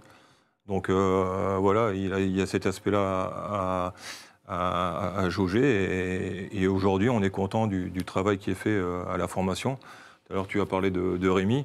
Il y a quelques jeunes qui s'entraînent aussi avec euh, le groupe de, Franck, avec Louise. Donc voilà, le, but, il est là, et c'est de faire progresser les, plus jeunes dans les catégories supérieures dès décembre pour qu'ils s'habituent à la compète des joueurs un peu plus, un peu plus vieux. Messieurs, est-ce que vous avez un petit peu de, de- de mémoire? Vous vous rappelez de, de vos matchs? Bon, toi, Louis, ça va être un match assez récent. Eric, lui, tu te lui, rappelles? c'est, lui, c'est facile. Ouais, Moi, mais- c'était euh, Toi, tu te 20 ans. rappelles. Louis, il-. Louis, a signé hier et tu lui demandes. Loïs, on va jouer à un jeu. Il va falloir que tu me donnes la compo de ton premier match avec le Racing Club de Lens cette année face à Brest. Tu vas avoir une minute pour me donner les joueurs. À chaque fois que tu vas trouver un joueur, tu vas marquer deux points. Par contre, si tu me donnes un joueur qui était remplaçant, tu perds un point. Je ne sais pas si on a un chrono qui, euh, euh, qui est prêt du côté de, du côté de la régie. Euh, allez, 3, 2, 1. Top, Loïs. Le gardien euh, Brice. Oui. Défenseur Kev Danso. Oui. Grady. Oui. Medina. Oui. À droite euh, Francky. Oui. À gauche euh, Macha. Exactement. Euh, Salis. Oui. Seko. Oui. Flo. Oui. David. Oui. Et moi. Oui. Impeccable. Impeccable. Ah, Loïs, je vais te dire un truc, t'es voilà, le plus grand feinteur du monde. Bravo, bravo, bravo. On t'a posé la question, t'as fait oh, oh, et là en 20, et en 20 secondes t'as tout claqué sans problème. mais attends, euh, moi, je, pose- je poserai- je pose une réclamation déjà avant Ah ma ouais, question. hein. mais Eric, C'est facile. Eric, Bah oui. C'est facile. Ouais, oui, elle est facile. je suis d'accord. T'as l'équipe qui, qui joue tous les week-ends. Oh. Ah mais le niveau Ouais, de fin, c'est t'as nous faire croire que c'est le truc difficile, il t'a tout paumé sans Ouais, les On trucs. rentre 25 ans en arrière maintenant. Eric, pour t'aider, parce que toi, c'est vrai que le match, il est pas long, je vais, je vais donner l'autorisation à Thomas de jouer avec toi. Ok, ok. Oh Mais c'est un match qui remonte à maintenant il y a quelques années. Il me semble que c'est la J34 de 98. Est-ce que tu te rappelles du match? C'est Auxerre. C'était Metz. Metz? Aïe, aïe, aïe, ça commence C'était mal. Metz. Ça commence pas bien Euh, À l'extérieur. 0-2. C'était à l'extérieur. Drovniak doublé. T'es prêt? Oui. Vous êtes prêts Ouais. 3, 2, 1, top. Tu peux y aller. Donne-moi la liste des, de noms des joueurs. Warmuz. Oui. Sikora. Magnier. Wallem. Oui. Euh, Lachor. Oui, Oh Dehu. oui, Euh, Fouet. oui, Stéphane. Ziani. oui, Misser. oui. Drovniak. Oui. Oh, incroyable Il a mis encore moins longtemps Incroyable, incroyable Non, mais attends. Bon, ben, Thomas, je euh, dire, j'ai les aidé, postes, quoi. J'ai ouais, voilà. Les postes, moi j'ai dû dire gardien, défenseur. C'est pour ça que j'ai pas dit Attends, attends, attends, je jouais quel poste défenseur droit. Donc j'ai commencé gardien, numéro 2. J'avoue, À l'époque, nous, on avait, c'était 1, 2, tu sais, c'était encore la télé en noir Bah et blanc. nous, c'est facile pas- ça. il a fait dans Ah l'ordre, non, mais... c'est. Ah mais magnifique Moi, Incroyable. Incroyable. Non mais Loïs, t'as réussi en 22 secondes, il a réussi en 19 Alors que t'as commencé en retard Non, mais là, là, c'est, là, je suis bluffé. D'ailleurs, en- voyant- choisi lance ce match-là, Lance-Metz Enfin, Ah, Metz, Il me semble que c'est la dernière journée du. de- du- C'était au- c'est pour ça que je pensais. euh. Mais c'était les deuxièmes Metz. Du coup, c'était le titre se jouait entre Ah, Metz et Lens. on, va, aussi. on, va, on va gagner là-bas en fait. Ouais. On Non, passe Ah, devant. Mais en fait, c'est magnifique de pouvoir voir ça parce que... on m'a écrit match du titre. Je savais plus si c'était la J34. En fait, C'est magnifique de pouvoir voir ça parce que ça me permet de remonter une question du chat qui était super intéressante de la part d'un supporter lensois. Il disait Eric, tu as connu un groupe qui a fait champion. Est-ce que tu vois des similitudes dans le groupe qui a fait champion avec le groupe de ce- cette année? Sans nécessairement dire que le groupe de cette année va être champion ou quoi. Est-ce que vous voyez des similitudes peut-être euh, dans les attitudes, dans le jeu, dans la façon dont le truc évolue? Est-ce qu'il y a des, choses qui vous ont marqué? Bon, nous, on avait un bon attaquant déjà, donc. euh, Ah, elle est pas mal. Elle est pas mal. Oui, je vais être chauffé tout à l'heure. Il te vanne Il te vanne Non, mais je pense que. Ouais, il y a des similitudes euh, entre le groupe de joueurs, le coach, la façon de jouer. euh, euh, nous, on avait notre coach qui était, qui était Daniel. Et en fait, euh, on arrive à la causerie. Il, il parlait que de, que de notre équipe. Ouais. Il parlait euh, allez, euh, 15 secondes de l'équipe adverse pour, euh, pour donner la compo. Mais après, c'était uniquement nous et on, on, on se focalisait que sur notre jeu. Ouais. On savait qu'on allait toujours jouer en 4-3-3, qu'on joue PSG ou dernier du championnat. On était parti pour jouer et marquer le plus de buts. Et c'est ce qui a fait notre force. euh, donc voilà, et je pense qu'aujourd'hui, quand on voit les attitudes des, des- des- des joueurs, et, et tout à l'heure, ce qui a été important aussi, et, euh, ce que dit Loïs, c'est qu'aujourd'hui, même quand il y a un joueur qui est sur le banc, euh, le mec, il ne fait, pas- il fait pas la gueule. quoi. Parce qu'il rentre et il sait qu'il va être important, qu'il a Ouais. un rôle important et qu'il peut faire gagner l'équipe. Et c'est comme ça qu'on avance. Et aujourd'hui, voilà, les similitudes, elles sont là. Le coach, il est là aussi, il fait jouer son équipe. C'est toujours euh, jouer pour aller vers l'avant, c'est gagner des matchs, c'est marquer des buts. Euh, dans la transition, aller vite vers l'avant. Bah voilà. Donc, euh, de ce côté-là, oui, il y a, il y a des similitudes. Maintenant, ce que j'ai dit tout à l'heure, le, le foot va, va très vite et on ne sait jamais euh, ce qui peut arriver. Mais en tout cas, aujourd'hui, quand on voit le, le championnat ou le mi-championnat, parce qu'on a, on a la moitié que fait l'équipe, euh, sincèrement, chapeau. Et on voit que même en étant très bien, euh, derrière, il y a quand même Marseille qui a deux points, Oui. le PSG qui est, qui est qu'à trois points. Donc on peut espérer euh, plein de choses. Thomas, c'est à cette époque-là que tu es tombé amoureux du, du RC C'était à l'époque d'Eric? Euh, Moi, j'ai pas de chance en tant que supporter parce qu'en gros, je suis devenu fan de foot à la Coupe du Monde 98. Donc, j'ai pas connu le titre du RC. J'ai juste vu mon frère et mon, et mon père partout. très contents et tout. Moi, je savais pas trop pourquoi. Et donc, j'ai beaucoup connu moi les années. euh, bah, j'ai connu de bonnes années après, l'année où Lyon nous a pris le, le titre en finale du championnat en, en 2002. Voilà, le coup dur. Et après les années, euh, les années Ligue 2, quoi. Donc là, le bonheur qu'on est en train de vivre en ce moment, je le savoure énormément parce que j'ai, j'ai- je considère comme beaucoup de supporters avoir mangé mon, mon pain noir. Et je voulais juste dire le petit point commun qu'il y a, c'est Captain, euh, mais les supporters le savent, mais Captain Sico a laissé place à Captain Seco. Donc il y en a, on a une grosse symbolique sur le. Il y a une petite symbolique, année. ouais. Voilà. Moi- Loïs, euh, petite question qu'à ça, cet été, quand, bah, quand arrive tu sais, le mercato, de ça machin, je suppose que c'est plein de discussions, de trucs. Genre, euh, quand Lens est arrivé en particulier, ça t'a chauffé direct Genre, euh, t'as as mis la priorité à Lens ou il y avait euh, peut-être un peu plus de temps de réflexion ou autre C'est même pas une question de dire ouais, tu préfères d'autres choses ou quoi, mais genre, quand Lens est venu, ça t'a fait quoi Je vais prolonger ta question, Zach, parce qu'il y a des rumeurs qui disent que Thierry Henry a eu un rôle dans ton arrivée ici. Alors, euh, est-ce que c'est vrai ça aussi? Euh, ben, da- J'avais des contacts avec le RC Lens. Ouais. Euh, mon agent m'avait il m'avait parlé de, du RC Lens. Moi, je ne connaissais pas euh, vraiment à 100%. J'avais déjà entendu parler du RC Lens. mais Oui, logique. et je ne connaissais pas à 100%. Mais quand j'ai eu euh, le directeur et le coach au téléphone, pour moi, c'était ma priorité. Ah, direct, ça, genre Ouais, deux discussions au j'ai- téléphone, ça t'a fait dire que J'ai c'était senti sérieux directement quelque chose que j'allais m'épanouir ici, et, euh, et que j'allais me sentir vraiment comme chez moi et qu'ils allaient, on va dire, prendre soin de moi et faire en sorte que je puisse évoluer. Et euh, pour revenir à Thierry Henry, j'avais parlé avec Thierry Henry, il m'avait dit que le RC Lens, c'est une équipe, euh, quand il me parlait de la saison passée, que c'était une équipe que, quand il partait en contre-attaque, ça faisait très mal. Oh que oui. Euh, et que bah, pour moi, euh, qu'un joueur qui aime bien attaquer l'espace, forcément, c'est une équipe qui peut être très très bien pour moi. J'avais même parlé avec Eden et Torgan. Torgan m'avait dit ah, que c'était son club de cœur, vraiment, Ouais. que si j'allais là-bas, il allait être content. Eden, même Eden m'avait dit que c'était un très bon club. Il voulait pas en dire plus parce que ça restait un, un Un Lillois. Mais que, que c'était une, euh, franchement, que c'était une très bonne équipe pour moi et que ça pourrait bien se passer. Après, ben, c'était avec le choix du cœur aussi de venir ici.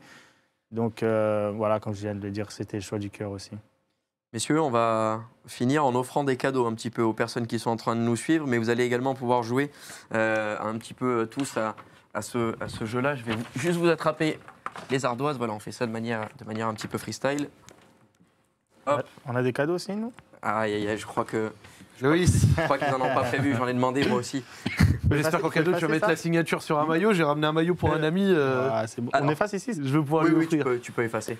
Alors, c'est euh, dans le chat que vous allez pouvoir participer, sur le chat euh, Twitch pour tous ceux qui participent à l'émission. Vous avez simplement à écrire la réponse dans le chat et le premier à répondre, euh, on récupérera son euh, pseudo tout simplement. Et puis euh, derrière, on pourra euh, tranquillement venir euh, euh, offrir les, les- les cadeaux. En tout cas, il y aura un vainqueur par question. Ouais. Le premier lot, c'est un lot Keepstar avec un but, un sac de sport et un ballon officiel de la Ligue 1 Uber Eats. Rien que ça. Ça s'annonce, euh, ça s'annonce euh, déjà euh, sympathique comme cadeau. Et la première question, alors Loïs, elle va être très très difficile pour toi, mais Eric peut-être un petit peu plus facile. Qui sont les deux meilleurs buteurs du club en championnat Oh, De l'histoire, hein. Je l'ai vu il n'y a pas longtemps. Et son nom, il est trop difficile. C'est deux noms. C'est deux noms.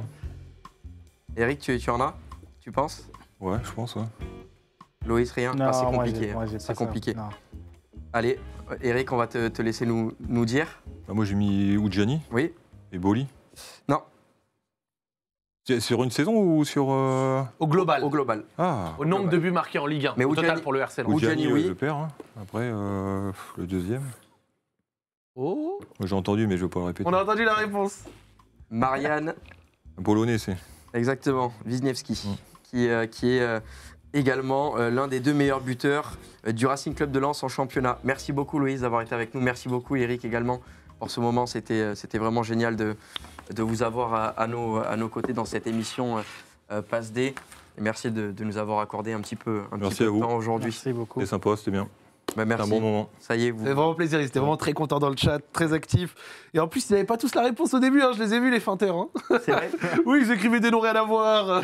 Ah, Et ont, puis dès que ça a commencé à parler ici, là, ils ont fait hop ils ont- ils ont essayé. Ils ont essayé. Zach, on va pouvoir passer à la, à la dernière partie de Yes. l'émission et accueillir Arnaud Pouille, qui est le directeur euh, général euh, de euh, ce club, de ce merveilleux club du Racing Club de Lens. On va pouvoir parler de beaucoup, beaucoup de sujets. Carrément. Allez, bah, on est parti. On va accueillir Arnaud Pouille. Merci Eric, merci. Merci. Merci beaucoup. Loïc, passez une, une bonne journée. Merci et beaucoup. Bonne Merci saison. beaucoup. Bonne Salut. saison. Merci beaucoup. Merci, hein, je suis là. hein. Très plaisir. Je sais pas c'est quel. euh, Eh, maillot. T'inquiète, il va te faire signer, c'est un Ouais. ami à moi. euh, Ouais, il va, est là derrière. Une- plaisir, on finit dans 20 minutes, attends-moi. Thomas, tu, tu peux te rapprocher un petit peu. Maintenant, on va être, euh, on va être plus que deux. Il y a, il y a Arnaud Pouille également qui va, qui va venir. Bonjour Arnaud. Bonjour messieurs. Bonjour Arnaud. Merci beaucoup d'être avec nous pour Eh ce ben, moment sympathique. On va pouvoir parler de, de plein de choses à propos du, du football. Ouais. Euh, bah, la première question que j'ai envie de vous poser, c'est aujourd'hui, on sait que vous êtes directeur général à Lens. Mhm. Vous faites un travail excellent, mais on a envie de vous demander quel a été votre parcours pour, pour arriver Ouf, à engranger autant d'expérience pour faire ce travail performant du côté du Racing? Vous avez le temps là parce que j'ai j'ai 70 ans. Oui, On va oui, faire ça de manière Non, synthétique. non, non, non, Euh, non, non, synthétique. Euh, d'abord des hautes études, Euh, enfin d'abord du foot euh, dans la région, Euh, après des hautes études, après un cabinet américain relativement classique euh, qui vient vous chercher quand vous êtes euh, dans les grandes écoles, et puis très vite une, une volonté de bosser dans le sport, et, euh, et parti dans le rugby au Stade français de 99 à 2007, des belles années. Génial. Ouais, ouais, top. C'était des belles années pour le Stade français, il me semble. Ouais, ouais, ouais, ouais, ouais. Des En fait, années. de euh, partout où vous êtes, ça se passe bien. Ah, je sais pas ça. Et euh, c'est l'histoire qui le dira. Et euh, mais euh, et après parti euh, pour être synthétique hein, euh, à la Ligue nationale de rugby et, euh, pendant 7-8 ans. Et puis 17 ans dans le rugby, ça faisait, et euh, j'en avais un peu, enfin j'avais l'impression de, de plus contribuer à grand chose. Et c'est là que Lens a appelé. Et en fait, je suis d'ici, donc euh, au début, le type m'appelle pour dire voilà, il y a un club qui cherche. Et, euh, et je lui dis écoute, moi, club, j'ai déjà fait. Même si c'était du rugby et tout, il dit ouais, c'est un club de foot. Et, et heureusement, juste avant de raccrocher, j'ai dit mais tu veux me parler de quel club en fait? C'était quelqu'un avec qui j'avais bossé avant et Ah, tout, qui avait son cabinet. Il me dit c'est Lens. J'ai dit attends, c'est pas pareil ça.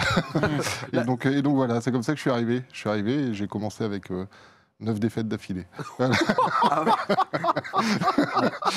faut toujours démarrer les- bas. Faut toujours les démarrer bas. Ah, les Euh, débuts noirs Tout à l'heure, tout à l'heure, je vous ai dit qu'on avait, qu'on avait Ouais, souffert ouais. manger notre pain noir. Ah, Bah voilà, premières il y a- semaines, il y j'ai cru que j'étais le chat noir, mais non, non, non, finalement non. Euh, Forcément, une autre petite question rapide comme ça, aussi de manière synthétique. Euh, directeur général dans un club de foot, ça consiste en quoi? Genre, qu'est-ce que vous faites euh, concrètement de manière a- un peu euh, globale? Il y a plusieurs types de directeurs généraux, mais euh, euh, nous, en fait, on a un propriétaire président, qui Ouais. est Joseph Augourlian, qui n'est pas présent parce qu'il a plein d'investissements un peu partout dans le monde.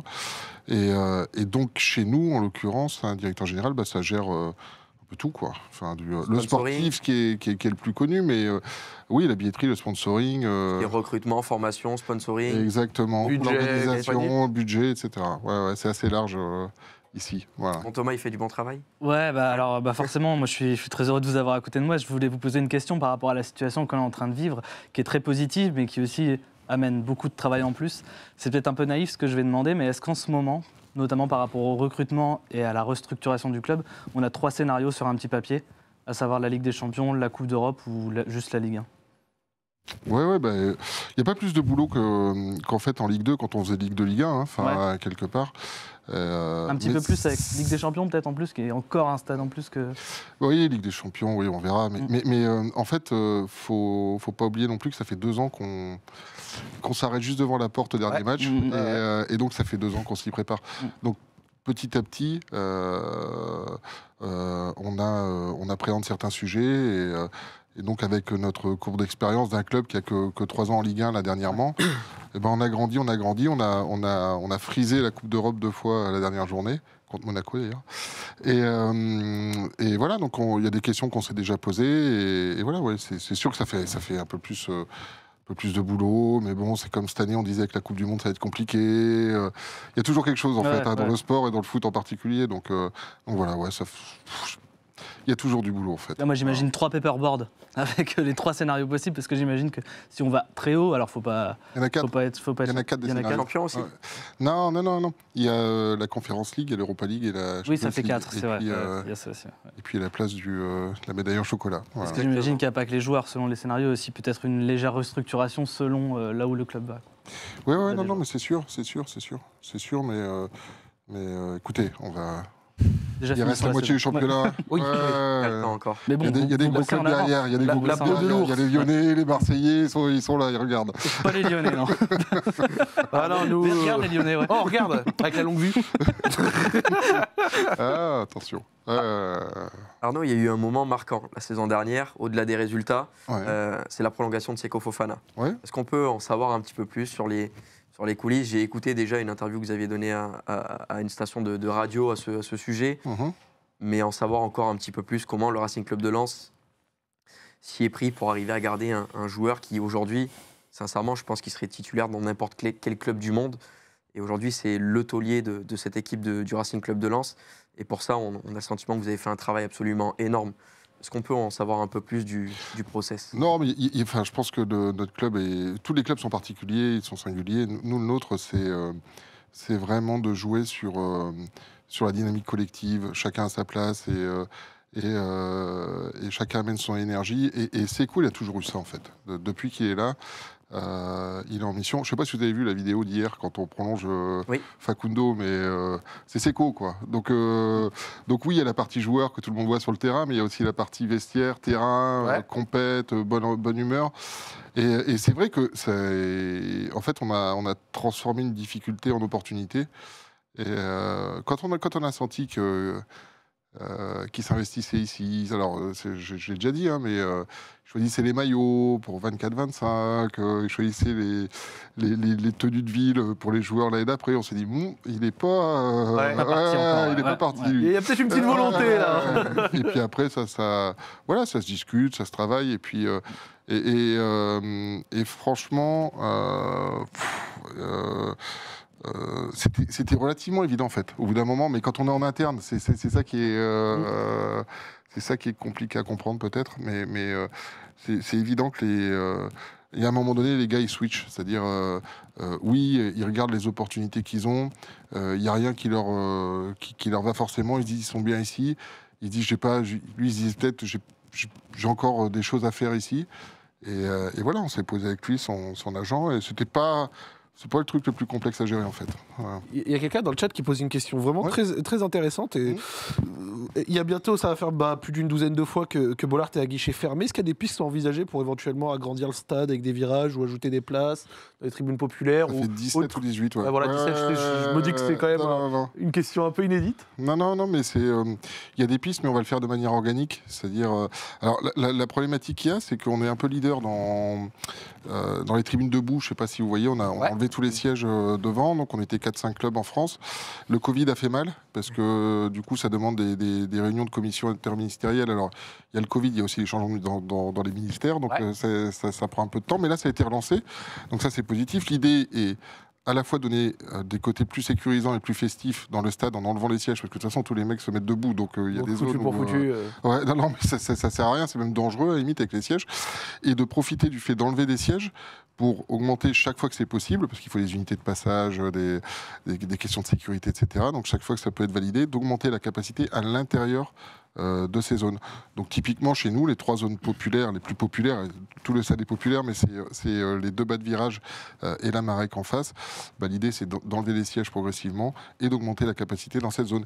Et je pense que si on arrive à 41, 42 000, ça sera, ça sera, des, ça sera déjà bien. Voilà. Justement, on vient de parler de cette crise sanitaire du, du Covid. On- si on peut parler un petit peu du, du côté financier, comment on gère les finances d'un club? On sait qu'il y, a y le merch, il va y avoir la billetterie, il va y avoir les, les recettes à la suite des, des transferts, de beaucoup de choses. Ouais. On a souvent tendance à parler que beaucoup de clubs français ont été dans le rouge ces dernières années.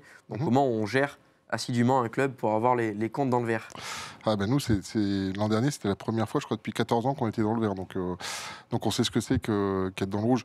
Déjà, pour, être, euh, pour bien bosser dans un club, il faut avoir un actionnaire qui est, euh, qui est présent, qui comprend, qui n'est pas là pour les aspects médiatiques ou pour les. C'est quelqu'un qui s'investit, qui comprend. Nous, on a la chance d'avoir quelqu'un qui, qui, qui, qui a multiplié les investissements dans diverses industries. Donc, euh, euh, donc voilà, il, nous, euh, il est présent parce que le Covid, ça a été compliqué quand même. Enfin, voilà, en Ligue 2. euh, Ouais, fin de la Ligue 1, nos Média structures. Pro, tout ça, machin. Ouais, c'est- voilà, ça a frappé tout le monde. le hein. truc par cœur. Ouais. Et, mais nous, on a cette chance-là. Et puis après, derrière, bah, c'est d'avoir un- un- un- un- des équipes et, et un top management qui, qui bossent comme en industrie, en fait, hein, tout simplement, hein, euh, au marketing, aux finances, euh, aux sportifs. euh, et voilà, c'est pas, pas d'une complexité affolante. Après, il faut mieux être mieux classé que ce qu'on dit au début de l'année, parce que quand on se positionne très haut et qu'on est plus bas, ça, peut faire mal. Il peut y avoir des retours de bâton. Donc nous, on est, on se on remonte progressivement, mais, comme, comme on joue le maintien, comme on dit, la stabilisation en Ligue 1, et ben on se met plutôt bas, et donc on a souvent des bonnes nouvelles en fin de saison pour l'instant. Et moi, je voulais vous demander, vu qu'en ce moment, on peut le dire, il y a énormément de signaux positifs autour du club, mais c'est quoi votre plus grande peur euh, pour le, pour le futur lié au RC Lens Quand vous vous levez tous les matins, c'est quoi votre plus grande peur? Peur, euh, pff, c'est pas la peur qui fait avancer. Je, je- c'est- des expressions, mais, mais euh, Hmm. c'est pas la peur qui nous fait avancer. hein. C'est euh, ce qui, ce qui, ce qui, ce qui pourrait être compliqué peut-être à un moment donné, c'est euh, euh, l'embourgeoisement peut-être. Hmm. C'est-à-dire, c'est de se dire. euh, Ouais, on est en haut du classement, on comprend pas pourquoi là on dégringole un peu, etc. Bah oui, mais parce qu'à un moment donné, ce que vous faites, des fois c'est bien, mais des fois il y en a qui, qui font mieux à côté. Mm. Donc, donc ça, il faut l'accepter. Et il faut se rappeler qui on est dans, dans cette compétition-là. Donc, donc celle-là, elle peut être euh, un peu plus compliquée à gérer parce que tu- Thomas, tu sais très bien, c'est- un brasier ici. Mm. Enfin, Ouais, ouais, euh, ouais. c'est euh, fait partie des brasiers en France où il suffit de craquer une allumette pour que la passion, elle s'enflamme. Mm, mm. Bon, voilà, nous, notre boulot, c'est de garder les pieds sur terre. Ah, J'ai vu Et, quand je euh, rigolais de Lyon, euh, vous m'avez tout de suite calmé. Mais C'est vrai, parce que si on commence à... Et on le voit, cette année, on est beaucoup plus couvert par les médias. Euh, euh, Za- Zach et, Zach et Quentin, vous avez l'habitude d'avoir des clubs assez couverts par les médias. Nous, c'est assez inédit. Cette année, on parle énormément du RC Lens parce qu'il y a énormément de signaux positifs. On est voilà, deuxième à trois points du PSG, donc il y a ça. Mais il faut effectivement pas qu'on oublie euh, d'où on vient, rester simple, parce que... euh, voilà, voilà. Ouais, ouais, faut pas, s'en- faut pas s'enflammer. hein. En termes de médias, on a commencé à parler vraiment du, du RC Lens ces dernières années quand on s'est rendu compte que Franck Hez était en train de d'inculquer une dynamique par le jeu assez, assez Mm. impressionnante. Mhm. Et c'est vrai qu'on a eu tendance à beaucoup en parler dans les médias, mais toujours avec la petite réserve des médias de se dire, bon, ils sont là, mais ils vont craquer tôt ou tard. Ouais, ouais. Ouais, Sauf ouais, que cette année, c'est là où on a le sentiment que ça a changé de dimension. Mm. C'est que cette année, il y a encore le fond de jeu, mais le RC Lens est couvert médiatiquement parce qu'on Mm. se dit, maintenant, ils vont plus craquer. En fait, maintenant, ils ont l'expérience, ils ont le bagage, ils ont les joueurs, l'entraîneur et, et tout l'organigramme au sein du club qui fait que le club, il ben, n'y aura plus de craquage. Ouais. Et maintenant, Ouais. ça devient un candidat plus que crédible à- au, au haut du championnat. Ouais. Après, il faut pas dévaloriser les. Je, suis- je suis- je suis assez proche des, des gars et je veux jamais dévaloriser l'hi- l'histoire des saisons d'avant. C'est, Oui, euh, oui, On se construit, on a de coups d'expérience et, et voilà. Et puis, euh, euh, moi, il y a juste un truc que je dis aux gars euh, assez souvent et en interne. euh, quand, quand on se retourne comme ça sur les, les 12 derniers mois, je dis citez-moi un match facile. Eh oui. Depuis, euh, depuis euh, un match qui vous vient comme ça, un match facile euh, dans la tête. Donc, ce truc-là de se dire oui, on est là, cette année c'est la bonne, etc., ça peut vite se retourner, hein, parce que le, la perf c'est 5-10% de plus que l'autre. hein, c'est pas, c'est pas le rugby où quand vous jouez à domicile déjà vous avez l'avantage du terrain, des habitudes, des repères, un peu plus. C'est- dans le foot, nous à Lens on l'a un peu, mais, mais, mais, mais dans le foot, si vous lâchez un peu, euh, vous êtes mort. tourne vite, oui. Vous êtes mort. Ouais, donc, euh, Moi, la question que j'ai, c'est moi, j'ai pas exactement suivi Lens dans ces mauvaises années, notamment par exemple, vous nous parliez des neuf défaites, des Ouais. choses comme ça. Euh, je me doute que pour c'était pas beau à après. voir hein, de toute façon. hein. Donc, Comment? C'était pas beau à voir. J'en doute pas. Là, tu testais ton supporterisme. t'étais encore là face à T'inquiète, je suis en phase de ouais, là. On oui, n'était pas à neuf défaites t'es en d'affilée. train de vivre le truc. voilà. Non, mais au-delà de ça, plus sérieusement, euh, je me doute aussi que le, euh, comment s'appelle, le retour au premier plan, c'est aussi fait avec des changements, sûrement des changements en profondeur, Ouais. des changements dans la structuration du club, dans la manière dont les choses sont faites, peut-être en plaçant des personnes différentes. On sait notamment qu'il y a eu par exemple aussi un départ, euh, alors je sais pas si on dit Ghisolfi ou Gisolfi, mais monsieur. euh, Gisolfi, ouais. Gisolfi récemment, etc. Avant de parler même, on va même pas forcément parler de lui, mais euh, qu'est-ce qui a été fait en termes de changement justement dans la structure du club et dans la façon dont euh, est fait le club pour justement peut-être derrière arriver à cette meilleure période Bah, nous, nous, on doit avoir cette année le, le 11e ou 12e budget de, la Ligue 1, et puis c'est un peu comme ça depuis, euh, depuis deux ans, on monte progressivement.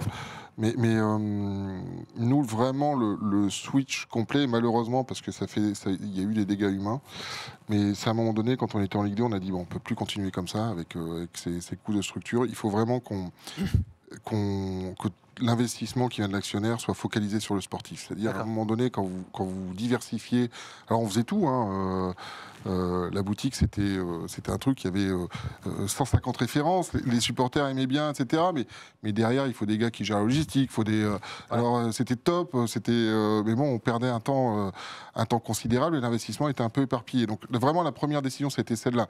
C'était de dire, rationalisons l'investissement, mais malheureusement, on a dû passer par un plan de sauvegarde des effectifs, et donc ça fait des dégâts humains. Mais, en Ligue 2, c'était nécessaire. À partir de là, quand vous, faites ça, ben, votre garantie, c'est qu'après, ben, vous ne le faites plus euh, vis-à-vis de l'État. Et donc, c'était vraiment mettre une organisation assez efficiente euh, en, place. Et donc, oui, il y a des personnes qui nous ont rejoints euh, à ce moment-là. Chacun, chacun, et je ne vais pas en citer un en particulier, mais chacun a contribué à remettre, euh, à remettre euh, de l'ordre dans son périmètre. Ouais. Et, euh, et voilà. Et, et progressivement, on... et moi, ce qui me les départs, ça, ça me fait toujours mal au cœur parce que nous, on est très sur le- la dynamique collective. Mais, mais ce qu'il y a de top après derrière, c'est que ça, ça permet à des gens qui sont juste derrière de- d'être promus de face- en interne. Alors que des fois, vous, êtes, vous, c'est- vous devez accélérer un peu la cadence. Mais, mais l'idée dans notre, dans notre organe, en tout cas, c'est que les, il y a la chance pour les N-1, les N-2 que- qui progressent. Et il y a personne qui doit avoir un plafond de verre en disant bon, euh, bon voilà. Et Franck, c'est le plus grand exemple. ben, Voilà, Franck, il, euh, Franck, là, il, euh, il était coach, il est passé manager général, il a étendu son périmètre. Alors, il, a, il donne de, de- de larges délégations, mais, mais, mais il a un œil euh, plus, euh, plus Global. sur le club. Ouais, ouais. Ouais, c'est ça qui est cool, parce qu'on a quand même l'impression que vous travaillez comme un club assez moderne. Franck, euh, à l'instant, euh, quand il était tout à l'heure, euh, data, recrutement, vidéo, la façon dont il parle, on sent que c'est adapté au football moderne et Ouais, que ouais, c'est ouais. des choses que d'autres clubs ont du mal à faire. J'ai Oui, essayé de lui parler un peu de data et bon, il, était, il était plutôt bien à jour.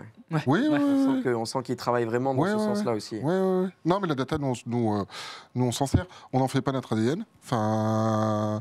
euh, un outil de travail. sert. Mais on s'en sert, c'est un outil de travail, voilà. Ouais, ouais. Arnaud, j'ai envie de parler de formation un petit peu avec vous. Ouais. Euh, on a vu des joueurs, notamment comme Raphaël Varane, sortir du centre de formation du, du Racing Ouais. Club de Lens.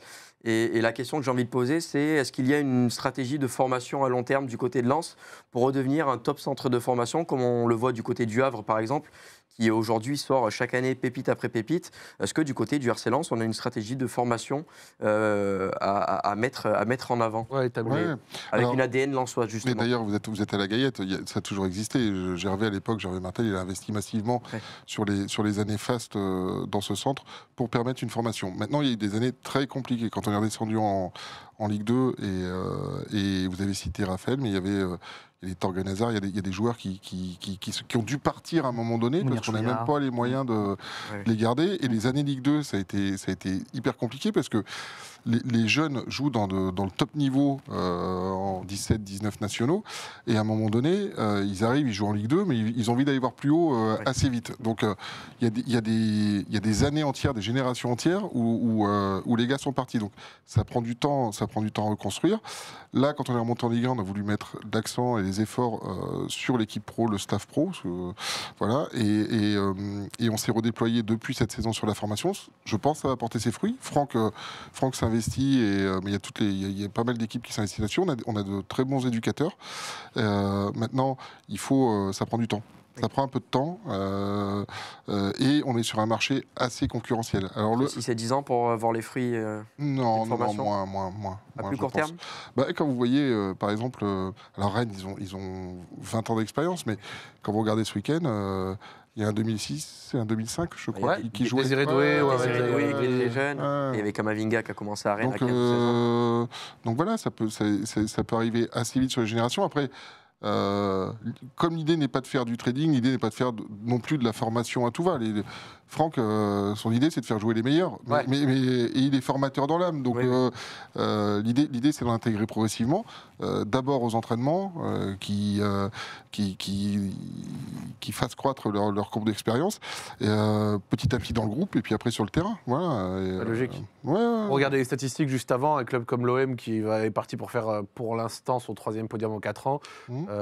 En pourcentage de minutes jouées de jou- joueurs venant du club, on est à 0%. C'est le dernier. Ouais, ouais, Et, ouais, et Lens, c'est pas bien plus, c'est 6%. Et après, il y a des clubs comme l'OL qui sont 52. beaucoup plus hauts. Ouais, c'est ça, Montpellier qui sont beaucoup plus hauts. Mm. Mais c'est pas l'assurance de réussite, comme vous avez dit. il y a des transitions, là, il y a quelques réussites en post-formation qu'il y a eu ces derniers temps. Il y a Cheikh Doucouré, Loïc Badé, Ouais, Christopher ouais, Roux, on a ouais. quand même des réussites. Et maintenant, post-formation, c'est bon, on passe à la formation. Ouais, c'est ça, Mm, mm. c'est ça, c'est ça. Dac Non? Non, tu peux y Ok, ok, ok. Ben, moi, je, je- je voulais parler justement, vous avez, vous avez évoqué le terme de trading. Mhm. Aujourd'hui, on sait que ben, face à, à la puissance anglaise, c'est très compliqué de, de conserver ces, ces pépites. Euh, Est-ce que pour vous, c'est c'est difficile aujourd'hui? Et je, je sais que la réponse va être évidemment oui, mais d'être en concurrence permanente avec, euh, avec des clubs qui sont très riches et qui peuvent faire des offres démentielles par rapport à ce que les clubs français peuvent, peuvent proposer.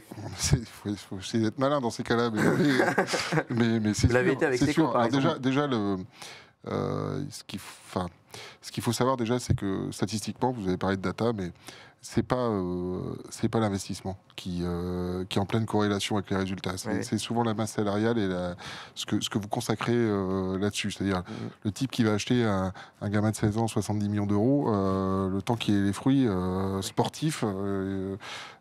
mais voilà. bon, après, ceux qui sont très riches font un peu tout. Euh, nous, c'est sûr que euh, on essaye d'être pour être vraiment optimisé dans une logique de groupe restreint, c'est-à-dire vraiment d'avoir euh, d'avoir peu de joueurs dans le groupe, etc., histoire que chacun ait son utilité, et d'optimiser nos investissements. Mais c'est- mais mais il y en a où euh, déjà c'est de travailler dans l'ombre. Parce que, parce que, dès, dès que dès que vous êtes plusieurs, ça, ça devient plus compliqué. Et, et puis il y a des dossiers dont on, dès qu'on sait qu'il y a, il y a des gros mastodontes qui s'approchent. Bon, on préfère, on préfère switcher. On tente notre chance jusqu'au bout, mais, mais, mais voilà, mais on, on est lucide sur ce qu'on est. hein, voilà. Thomas? Moi, je voulais poser une question par rapport au, futur, euh, au passé très récent du club, euh, donc le départ de, de Ghisolfi, mais plutôt euh, parler des nouveautés. Qu'est-ce qui a changé maintenant, euh, donc avec Grégory Thiel à la place de Florent Ghisolfi et euh, euh, Franck Hez, premier manager général Qu'est-ce qui a changé concrètement dans, dans cette organisation et dans la façon de faire? Bah, en fait, euh, euh, Greg Grégory Thiel, euh, il s'occupait du recrutement depuis 2020. Mm. Il Ouais. était vraiment à la tête de la cellule et euh, il bossait à deux avec, un- avec une personne qui s'appelle Samir Chama, qui était, qui était euh, parti à OCR, qui lui avait fait euh, 19. Donc, ce qui s'est passé, c'est que quand, euh, quand Florent est parti, euh, on a promu euh, Grégory Mm. sur, sur la partie direction technique. Et donc, ça veut dire que lui, son travail est, est un peu plus restreint que celui qui était Florent, mais qui avait, qui avait fait trois ans. Mais il est vraiment sur la partie recrutement et sur la partie gestion d'effectifs. C'est-à-dire, il n'a pas, il pas d'œil sur, sur la formation, sur les féminines, etc. Ça, c'est Franck. Euh, donc en fait, on a, on a repartagé euh, un peu les tâches. De toute façon, l'équation dans laquelle on était avant, elle n'existait plus parce que chacun s'était mis en place. Joseph m'avait mis en place, j'avais mis Florent, euh, Florent mis Franck. Ouais. Enfin, donc euh, celle-là, à un moment donné, il fallait se réadapter. Et, euh, et donc voilà, on a, on a, on a promu Grégory, étendu un peu son, son champ d'action. On a promu Franck, étendu un peu son, son champ d'action. Et voilà, enfin, c'était pas. C'était pas la grosse, la grosse, la grosse révolution, Ouais, mais il fallait, il fallait que l'organisation elle réponde, euh, elle réponde au départ. Donc euh, voilà, J'ai une question un peu naïve, euh, peut-être. Est-ce que sur le, le prochain, le prochain mercato, est-ce qu'il peut y avoir euh, des concurrences, même si c'est pas exactement le même budget, entre les mercatos de Nice et de Lens, parce qu'il y aura forcément des dossiers communs euh, entre les dossiers Ghisolfi Thiel, euh, qui sont partis. Ouais, je pense que Florent, il doit, il doit avoir en tête ce, ce que Greg avait ciblé. Ouais. Ok, donc il y aura, Hmm. Ah bah, il y aura une bonne ambiance. Ouais, C'était pas si bête ma question. Ça va travailler bien, ça. Il a dit que c'était les meilleurs et finalement on n'est pas loin, on n'est pas loin de ça. On n'est pas loin de ça. Euh, Arnaud, euh, tout à l'heure justement on parlait de recrutement avec Franck et je lui disais qu'avec le départ de Doucouré, avec le départ de Klose, de Kalimundo, on se disait que Lens allait devoir faire très très fort pour recruter et pour arriver à compenser ces top joueurs qui sont partis. Et finalement ça a été très très très bien fait. Euh, Ouais. du côté du, du côté du, du Racing Club de Lens, euh, Franck nous disait que voilà, il y a toute une équipe vraiment de, de scouts pour aller chercher Ouais. les meilleurs joueurs. Et comme vous l'avez dit juste avant, ben faut être malin. Oui, il faut être malin, ouais. faut être malin. C'est-à-dire, euh, quand, quand, hum, déjà, il faut regarder les parcours des joueurs. Faut, Mm. faut, faut, faut- comment vous avez discuté avec eux, leur entourage. Tchèque, était là depuis 2018. hein, il a fait partie un peu de la renaissance euh, depuis 2018. On savait que c'était qu'il allait être, qu'il allait avoir des clubs anglais sur lui, etc. Enfin, c'était, c'était l'année où on sentait qu'il allait partir. Donc, euh, assez simplement, en fait, enfin, vraiment très simplement, des fois, ça paraît. euh, euh, Il y, a- il y a- il y a un gars qui s'appelle Salis, Abdul Samed, qui, qui commence à faire ses premiers matchs, euh, qui jouait pas trop en Ligue 2, mais en Ligue 1 avec Clermont, qui, Ouais. qui commence à jouer, à faire des, à faire des gros matchs. Il sort de la même académie que, que Tchèque. Euh, ce sont les mêmes conseillers. Euh, on se renseigne sur lui et, et- et la chose se fait euh, Naturellement. Mais naturellement, mais c'est. si, si je vous dis que le Salis est arrivé l'avant-veille du départ de Tchèque, qui s'est assis à côté dans le vestiaire, c'est lui qui l'a accueilli, et que et donc, euh, ça, s'est Mm. fait euh, Normal. Ça s'est fait normal, Ouais. tranquille. Après, c'est- deux profils euh, différents dans un vestiaire, mais il y a quand même un, un- un background, je sais pas quoi, une expérience commune et une passation qui s'est réalisée. Donc, c'est naturel. Mm. C'est naturel. Euh, quand est parti, euh, Jimmy Cabot était là. Enfin, Ouais, Vous l'aviez donc, euh, anticipé, ouais. Ouais, ouais, ouais, donc euh, il y a des choses qui se passent euh, naturellement. Dans le chat, il y a des fans lensois qui me demandent, alors ça, euh, c'est, je pense, de l'actualité euh, pour euh, le club. C'est pas quelque chose que j'ai spécialement suivi, mais euh, un actionnariat type Socios, est-ce que c'est quelque Ouais. chose euh, toujours d'actualité? C'est quoi un petit peu l'idée? Ouais, ouais, l'idée, euh, bah, l'idée comme on, comme on l'est sur les tribunes debout, c'est d'être, euh, d'être un peu moteur là-dessus. Là, Il y en a qui l'ont fait, euh, mais qui sont peut-être pas allés jusqu'au bout du, euh, du projet. Euh, nous, on a cette idée-là en tête avec, euh, avec Joseph parce qu'on trouve que ça nous, euh, ça nous colle bien. Pour impliquer les fans, ça? Ouais, pour impliquer les fans. euh, pour impliquer les fans. Euh, après, je, je- je pense qu'il faut choisir le, le bon timing, le bon moment dans, dans la stratégie que vous développez. Nous, on, aim- on aimerait bien que ça se fasse. Alors, en ce moment, on discute pour, euh, pour, euh, avec la mairie pour essayer de racheter le stade, pour essayer de trouver un point de compromis. Alors, il y a l'État qui va passer derrière. J'espère qu'on va y arriver. Ouais. L'étape d'après, ça sera certainement celle-là. Voilà. D'accord. Ça sera certainement celle-là. On essaye de faire les choses. euh, Dans l'ordre. parce que un club, euh, il, il- il faut, il lui faut aussi un patrimoine euh, euh, un peu, un peu structurel. Ça peut pas être enfin, qu'un, qu'un- qu'un patrimoine joueur avec une, euh, une valorisation euh, volatile. Alors, il y en a qui l'ont très bien compris. hein. Vous prenez euh, Jean-Michel Aulas, il a compris euh, très tôt ça. hein. Il, a, il, Mhm. il s'est construit et alors lui, il est allé jusqu'à la, jusqu'à se mettre en bourse, à la cotation en bourse. Bon, nous on n'est pas là. Nous, nous, ça serait, ça serait, ça serait plutôt de, de viser cet actionnariat populaire. ouais. Arnaud, j'ai un maillot là qu'on va faire gagner juste, euh, Ouais. ju- juste après. Est-ce que vous pouvez nous raconter un petit peu le- le- la petite histoire de, de- de ce maillot-là? De celui-là cool. ou de, de tous les maillots Sainte-Barbe? De tous les maillots Sainte-Barbe. Ah, De tous les maillots Sainte-Barbe. Alors en fait, la Sainte-Barbe, c'est c'est, euh, la fédération, euh, Lens United, qui, euh, euh, qui l'a fait renaître ici un peu, dans, dans la ville. C'est c'est la fête des mineurs, début décembre. Et, euh, et on, a, on, a, on voulait remettre euh, du sens à, à l'ADN du club. Et donc on a, on a lancé la première opération. On était en Ligue 2, je crois, il y a, il y a 3-4 ans. Et euh, d'ailleurs, c'était un match contre Chambly un mardi soir. Si, euh, C'est le match à Ouais. 33 000 personnes. Ouais, Ben, Jonathan Grady nous en a parlé Ouais, juste avant. Exactement, exactement. Et euh, Chambly en plus, c'est un club dont on est proche, qui est pas trop loin et tout. C'était sympa comme tout, mais euh, 33 000 personnes. Et, euh, et on avait un équipementier qui, euh, qui avait fait un, très beau maillot événementiel avec la Lazio-Drome et qui nous avait dit euh, euh, Je sens que chez vous, ça peut marcher, etc. Alors, on a consulté les. On, on- on co-construit les choses avec, euh, avec les supporters. Donc on les a consultés, les types ont trouvé euh, l'idée super. Et au début, le premier maillot, il était noir et vert, je crois, non? Si ma mémoire... premier de la premier Sainte-Barbe de la Sainte-Barbe. Ouais, ouais, noir et vert. ouais, ouais. On l'avait, on l'avait Ouais. euh, un peu designé avec eux. Mm. Et puis petit à petit, tous les ans, euh, on a pris ce pli-là. Alors à chaque fois, on est pris de court sur les stocks. Alors Ouais. euh, ça devient vraiment le maillot, euh, le maillot attendu.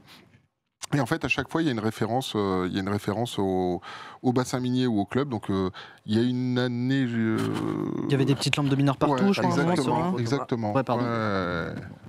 Et, Euh, euh, et puis là, c'est l'ancien blason, en fait. C'est pour, euh, pour rappeler, euh, rappeler aussi l'histoire. qui est étonnamment et, très moderne. hein. Le premier blason du RC Lens. C'est- un truc de ouf, hein. Complètement. C'est que vraiment, on aurait on pu croire à un blason 2023. C'est euh, celui de fait exprès. 1906, quoi. C'est Ouais. incroyable, incroyable. Et là, il y a les. Donc là, c'est le, le, le- les, les puits des, des mineurs, si je dis pas de bêtises, c'est la ça, roue des puits des mineurs ici, par exemple. Mm. Le chevalet, ouais. Voilà, Le c'est ça, chevalet. Exactement, il y a les noms dessus. Des fausses concernées. À chaque fois, on le, on le, on le design et, euh, et on le construit, euh, on le construit avec eux. Avec, le- avec les représentants du supporter, c'est sympa, c'est un moment, euh, c'est un moment très sympa. Et euh, depuis deux, trois saisons, une chose qu'on a changé aussi ici, c'est que on applique les joueurs. Ouais. Donc la couleur là, c'est euh, Les joueurs? l'échantillon. Il y avait Franck dedans d'ailleurs, euh, joueur et staff. Il y avait Franck, Seco, crois qu'il y avait KU. Ils aiment bien Et leur- leur- euh, peut-être- il y avait peut-être Jougradi d'ailleurs dans, dans la Et bande. très belle la couleur, hein. Ouais, ouais, ouais. ouais. Et, euh, Un chef-d'œuvre, ça. Oui, oui, oui, oui. il est Il Magnifique. est vraiment. et vraiment beau, ouais. euh, quand je crois que c'est Kali, euh, Kali Mwendo l'an dernier qui m'avait dit, euh, oh, les couleurs étaient inversées. Je crois que c'était noir et noir et or. Et il m'avait dit celui-là c'est le plus beau, etc. Enfin, et, et, euh, les, les joueurs sont, euh, sont fiers de porter ça. Ouais. C'est des émissions très, très limitées, alors, ces éditions. Ouais, alors, euh, on l'a un peu moins limité cette année, on en a fait un peu plus parce que euh, il y avait euh, beaucoup de marchés noirs, même quand vous faites la chasse, mais euh, ça, devient des, ça devient des pièces de collection. Il y avait beaucoup d'insatisfaction. euh, et, euh, et donc, on est passé, euh, euh, je crois, à 8000 cette année, mais ça a, été vendu en une journée. Enfin, c'était Oh. le délire. Derrière, on- bat Paris avec. Alors la hype sur le maillot monte encore plus Ouais. parce qu'on bat Paris avec. Donc, enfin, c'est incroyable. Ouais, ouais, ouais. Eh bien, merci beaucoup, Arnaud. Merci à vous. Merci beaucoup. Merci, merci d'être chez nous. C'était Hein. vraiment oui. excellent. En plus, il fait chaud. Hein, vous ce pas dit. dire. Ah, il fait vraiment un part bonheur. On était à. Ibiza. Exactement, exactement. J'ai hâte de me baigner en finissant l'émission. là. Bon, ça va. Bonne soirée, messieurs. Merci beaucoup Arnaud. Ciao. Bon, messieurs, c'était euh, c'était vraiment, vraiment très, très cool euh, d'avoir euh, d'avoir Arnaud Pouille, d'avoir euh, euh, bah, tous ces joueurs qui, qui ont été là, Francaise, Eric Sicora qui nous a parlé de la, post-formation et, et très en détail hein, d'ailleurs. puis le retour de passe D dans un club avec des acteurs du club et tout, c'était vraiment génial, Ah sérieux. ouais, C'était c'était vraiment trop, trop bien. Thomas, j'imagine que pour toi, en tant que, que supporter depuis, Ah, ça doit te depuis faire quand les même, émotions. hein. assez longtemps de, de, de ce club qui est le, le Racing Club de Lens, pouvoir discuter un petit peu de l'évolution de ton club avec Arnaud Pouille, euh, avec, les, avec les joueurs, etc. C'est, c'est, ça doit être quelque chose d'assez Ouais. dingue. hein. Puis c'est génial parce que c'est le- tout le renouveau. On sait que nous, on a. mais C'est marrant parce que ça va parler à Zach, ce que je vais dire, mais on- nous, on a connu Gervais Martel qui était un grand homme pour le club, mais pour lequel il a fallu gérer la succession. Là, ce que vous êtes en train de vivre avec Textor et Olas, où, l'idéal, c'est que ça se passe le mieux possible, mais c'est très compliqué ce, ce- ce genre de choses quand quelqu'un est autant impliqué dans le club. Et là, on a euh, un peu un des hommes providentiels qui n'a d'égal sa compétence que sa discrétion parce qu'il n'est pas si présent que ça.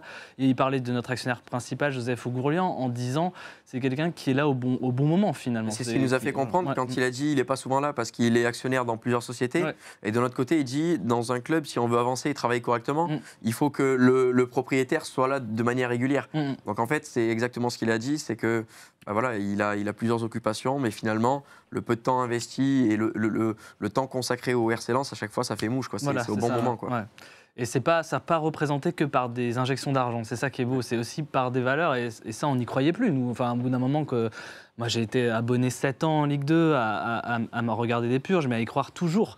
Et là, ce qui arrive là, quelque part, on se dit, euh, ça prouve que le foot tourne énormément aussi. hein. C'est c'est quelque chose où il ne faut pas trop rester campé sur ses positions, euh, à croire qu'on est le meilleur ou qu'on est le pire. Mais euh, ça, fait, ça fait plaisir, quoi, ce qui se passe.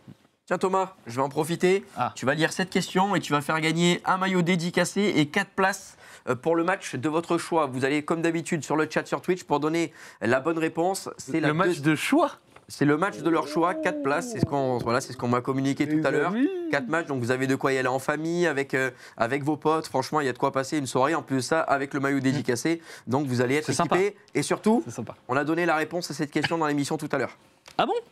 Ah oui, C'est- c'est- Tu peux bien montrer celle-là, on est d'accord? Celle-là. Ah, celle-là, juste avant, Oui. l'avant-dernière. Ok. Donc, quel est l'actuel Ok. Quel est l'actuel meilleur passeur du RC Lens en championnat cette saison? Facile. On en a parlé tout à l'heure, il est quatrième, c'est une question de rapidité, donc je ne vais pas vous laisser Ça, non plus trop de temps pour pouvoir répondre dans le chat. J'imagine, Zach, bon, ça a, On a- on été- a- oui, oui, oui. Ouais. ça a évi- évidemment été donné. C'est Armeknila ou je me trompe? C'est sûr, c'est sûr. C'est Sotoka. Sotoka qui est à euh, 6-6. six passes euh, décisives et qui est quatrième du championnat, on l'a dit euh, à l'heure actuelle. Donc voilà, Ouais, Je ne veux pas annoncer de gagnant, c'est trop risqué. J'ai dit un non, pseudo. là- là, c'est- Non, non, t'inquiète, il y a des huissiers. Il y a des huissiers, ouais, d'accord, ça marche. Du, du côté de la régie. J'ai dit un nom qui s'est peut-être entendu. Et... Non, non, non, non, mais c'est pas grave, c'est pas grave. Non, non. Zach, Oui. il reste encore une question. Oui, T'as envie de faire gagner quelque chose toi aussi? Allez, Et là, attention, parce que c'est deux places VIP pour Racing Club de Lens contre le SCO d'Angers. Donc, expérience VIP, c'est quand même plutôt cool. Et un bon d'achat de 100 euros au shopping à Noyelles. Donc voilà, euh, c'est la troisième question. Allez, à toi. Allez. La troisième question, les amis, soyez prêts. parce que vous pouvez même gagner peut-être plusieurs fois. Quel joueur sans et or inscrit le but du mois de septembre 2021 élu par les fans de Ligue 1 Uber Eats? Celui-là, je m'en rappelle. Voilà, pour ceux qui me connaissent un petit peu en dehors de ce que je fais dans mes diverses émissions à droite à gauche. J'ai bien dit septembre Voilà, c'est- 2021. C'est un, un but contre un club que j'aime beaucoup. Et c'est un match où les deux latéraux, Jonathan Klaus et Frankowski, nous ont fait beaucoup de mal sur, sur ce match-là. Et justement, du coup, c'est Frankowski, je viens de le dire, ça a été. C'est ce que j'allais dire avec Non, le maxi banger. C'était, c'était waouh. En tout cas, le, le but qu'il met était tout simplement incroyable. Et Exact. Frankowski, donc, qui euh, a gagné cette, euh, cette élection-là. Plus On beau a match le- de la saison, hein, par, on a- par beaucoup. C'était Hmm. considéré comme le plus beau match de la saison. Oui, c'était un, des- ouais, un- ouais. un des plus beaux matchs. C'était, c'était dingue l'intensité. On a les trois vainqueurs. Donc c'est euh, Don Martino qui remporte un lot, Joe Lenz et euh, Rataj Saxmax. Voilà, j'ai failli faire une crise d'épilepsie en prononçant ton pseudo, mais en tout cas, euh, félicitations, à toi euh, quand même pour euh, les lots. Après, bon, il faudra, euh, vous allez être contacté évidemment pour savoir quel lot vous avez gagné, mais de toute façon, vous savez quel lot vous avez gagné en fonction de la question à laquelle euh, vous avez répondu. Le dernier lot à remporter, c'est celui-là. Et celui-là, je vous l'ai montré, c'est le maillot de la Sainte-Barbe. C'est une édition Limité. limitée. J'ai l'impression d'être au marché. Tiens, voilà, c'est un maillot qui est vraiment édition limitée et qui derrière, en plus Floqué de ça, Openda. Floqué Loïs Openda. Et on m'a fait remarquer tout à l'heure, la petite particularité, c'est que voilà, ici, regardez, il y a écrit RC Paris Saint-Germain, Sainte-Barbe avec la date. Euh, Donc, vous avez toutes les informations pour ce maillot-là. Pour participer, ça va être très très simple. Vous allez follow la chaîne Twitch. Donc, il y a un petit euh, icône violet avec écrit suivre. Il faut follow la chaîne Twitch et mettre hashtag PasseD dans le chat. Vous avez euh, quelques secondes pour pouvoir remporter euh, ce maillot-là et dépêchez-vous parce que sinon, bah, je vais le mettre dans mon sac et je vais vite rentrer dans le sud de la France. en ce qui me, en, en ce qui Non, me il est bien, le maillot, au vélodrome avec ça. oui, non, non, non, je vais, je vais, je vais- je vais peut-être pas faire ça, mais non, c'est vrai que c'est un maillot qui est vraiment, vraiment très, très cool. On vous laisse encore quelques secondes pour participer à euh, ce euh, précieux concours pour euh, euh, le maillot. Alors, Zach il rappelle un peu celui de 2002-2003, je dis pour les connaisseurs, celui après la fameuse finale perdue contre Lyon. Oui. On avait un beau maillot doré pour faire la Ligue des Champions, parce qu'on s'emballe un peu quand on fait la Ligue des Champions, on met un beau maillot doré. Voilà, pardon, je t'ai je t'ai coupé pour ça, mais je voulais le dire. Ah, pas de problème. Si, si vous aviez gardé un moment de cette soirée, de cette émission, une réponse à une question qui vous a principalement marqué, ça peut être d'un joueur, ça peut être de Franck Hez, Eric Sicora, d'Arnaud Pouille. Est-ce qu'il y a quelque chose qui vous a marqué dans cette interview? Moi, j'ai bien aimé, euh, pour être tout à fait honnête avec toi, euh, monsieur euh, Franquès, quand il nous parlait de son projet de jeu. Ouais. Et puis, c'est pas une réponse vraiment qui m'a marqué, c'est plutôt la data.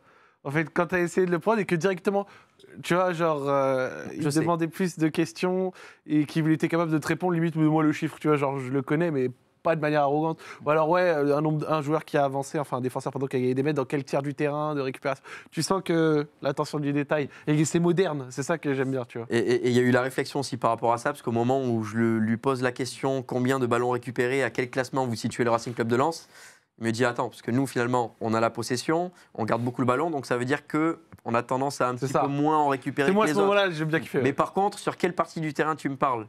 Et c'est vrai que quand tu regardes, c'était une question qui était visée parce qu'au global, Lens est 20e en termes de ballons récupérés, mais en termes de ballons récupérés dans la moitié de terrain adverse, enfin dans la partie haute du terrain, euh, Lens est au milieu de ce classement, 10e, donc ça veut dire que il a bien compris que c'était un pressing très très haut Ouais. de la part c'est qu'on l'a beaucoup le ballon. Il n'a pas forcément parlé de la Ouais. possession à ce moment-là, mais on l'a cette année, on a beaucoup de possession. quoi. Exactement. Thomas, toi, il y a un moment que tu as marqué Et à un moment, je- c'est un peu anecdotique, mais j'ai trouvé très marrant, c'est quand euh, Joe Grady et Flo Sotoka euh, parlaient de leur valeur sur MPG et que, et que Flo Sotoka euh, s'étonnait de valeur 25 millions sur MPG. J'ai trouvé ça vraiment marrant. Et une petite phrase comme ça qu'a dit Joe Grady, euh, qui pareil peut paraître anecdotique, mais j'ai bien aimé vu que moi c'est un joueur de mon équipe. Qu'il explique que la situation peut très vite changer si le RC Lens perd trois matchs d'affilée. Et j'aime bien que dans un vestiaire aussi positif, les joueurs aient conscience de ça. Euh, parce que euh, tout est joli, tout est rose, mais comme Zach l'a dit tout à l'heure, il y a une locomotive. Le RC Lens peut très bien finir quatrième, cinquième euh, cette année.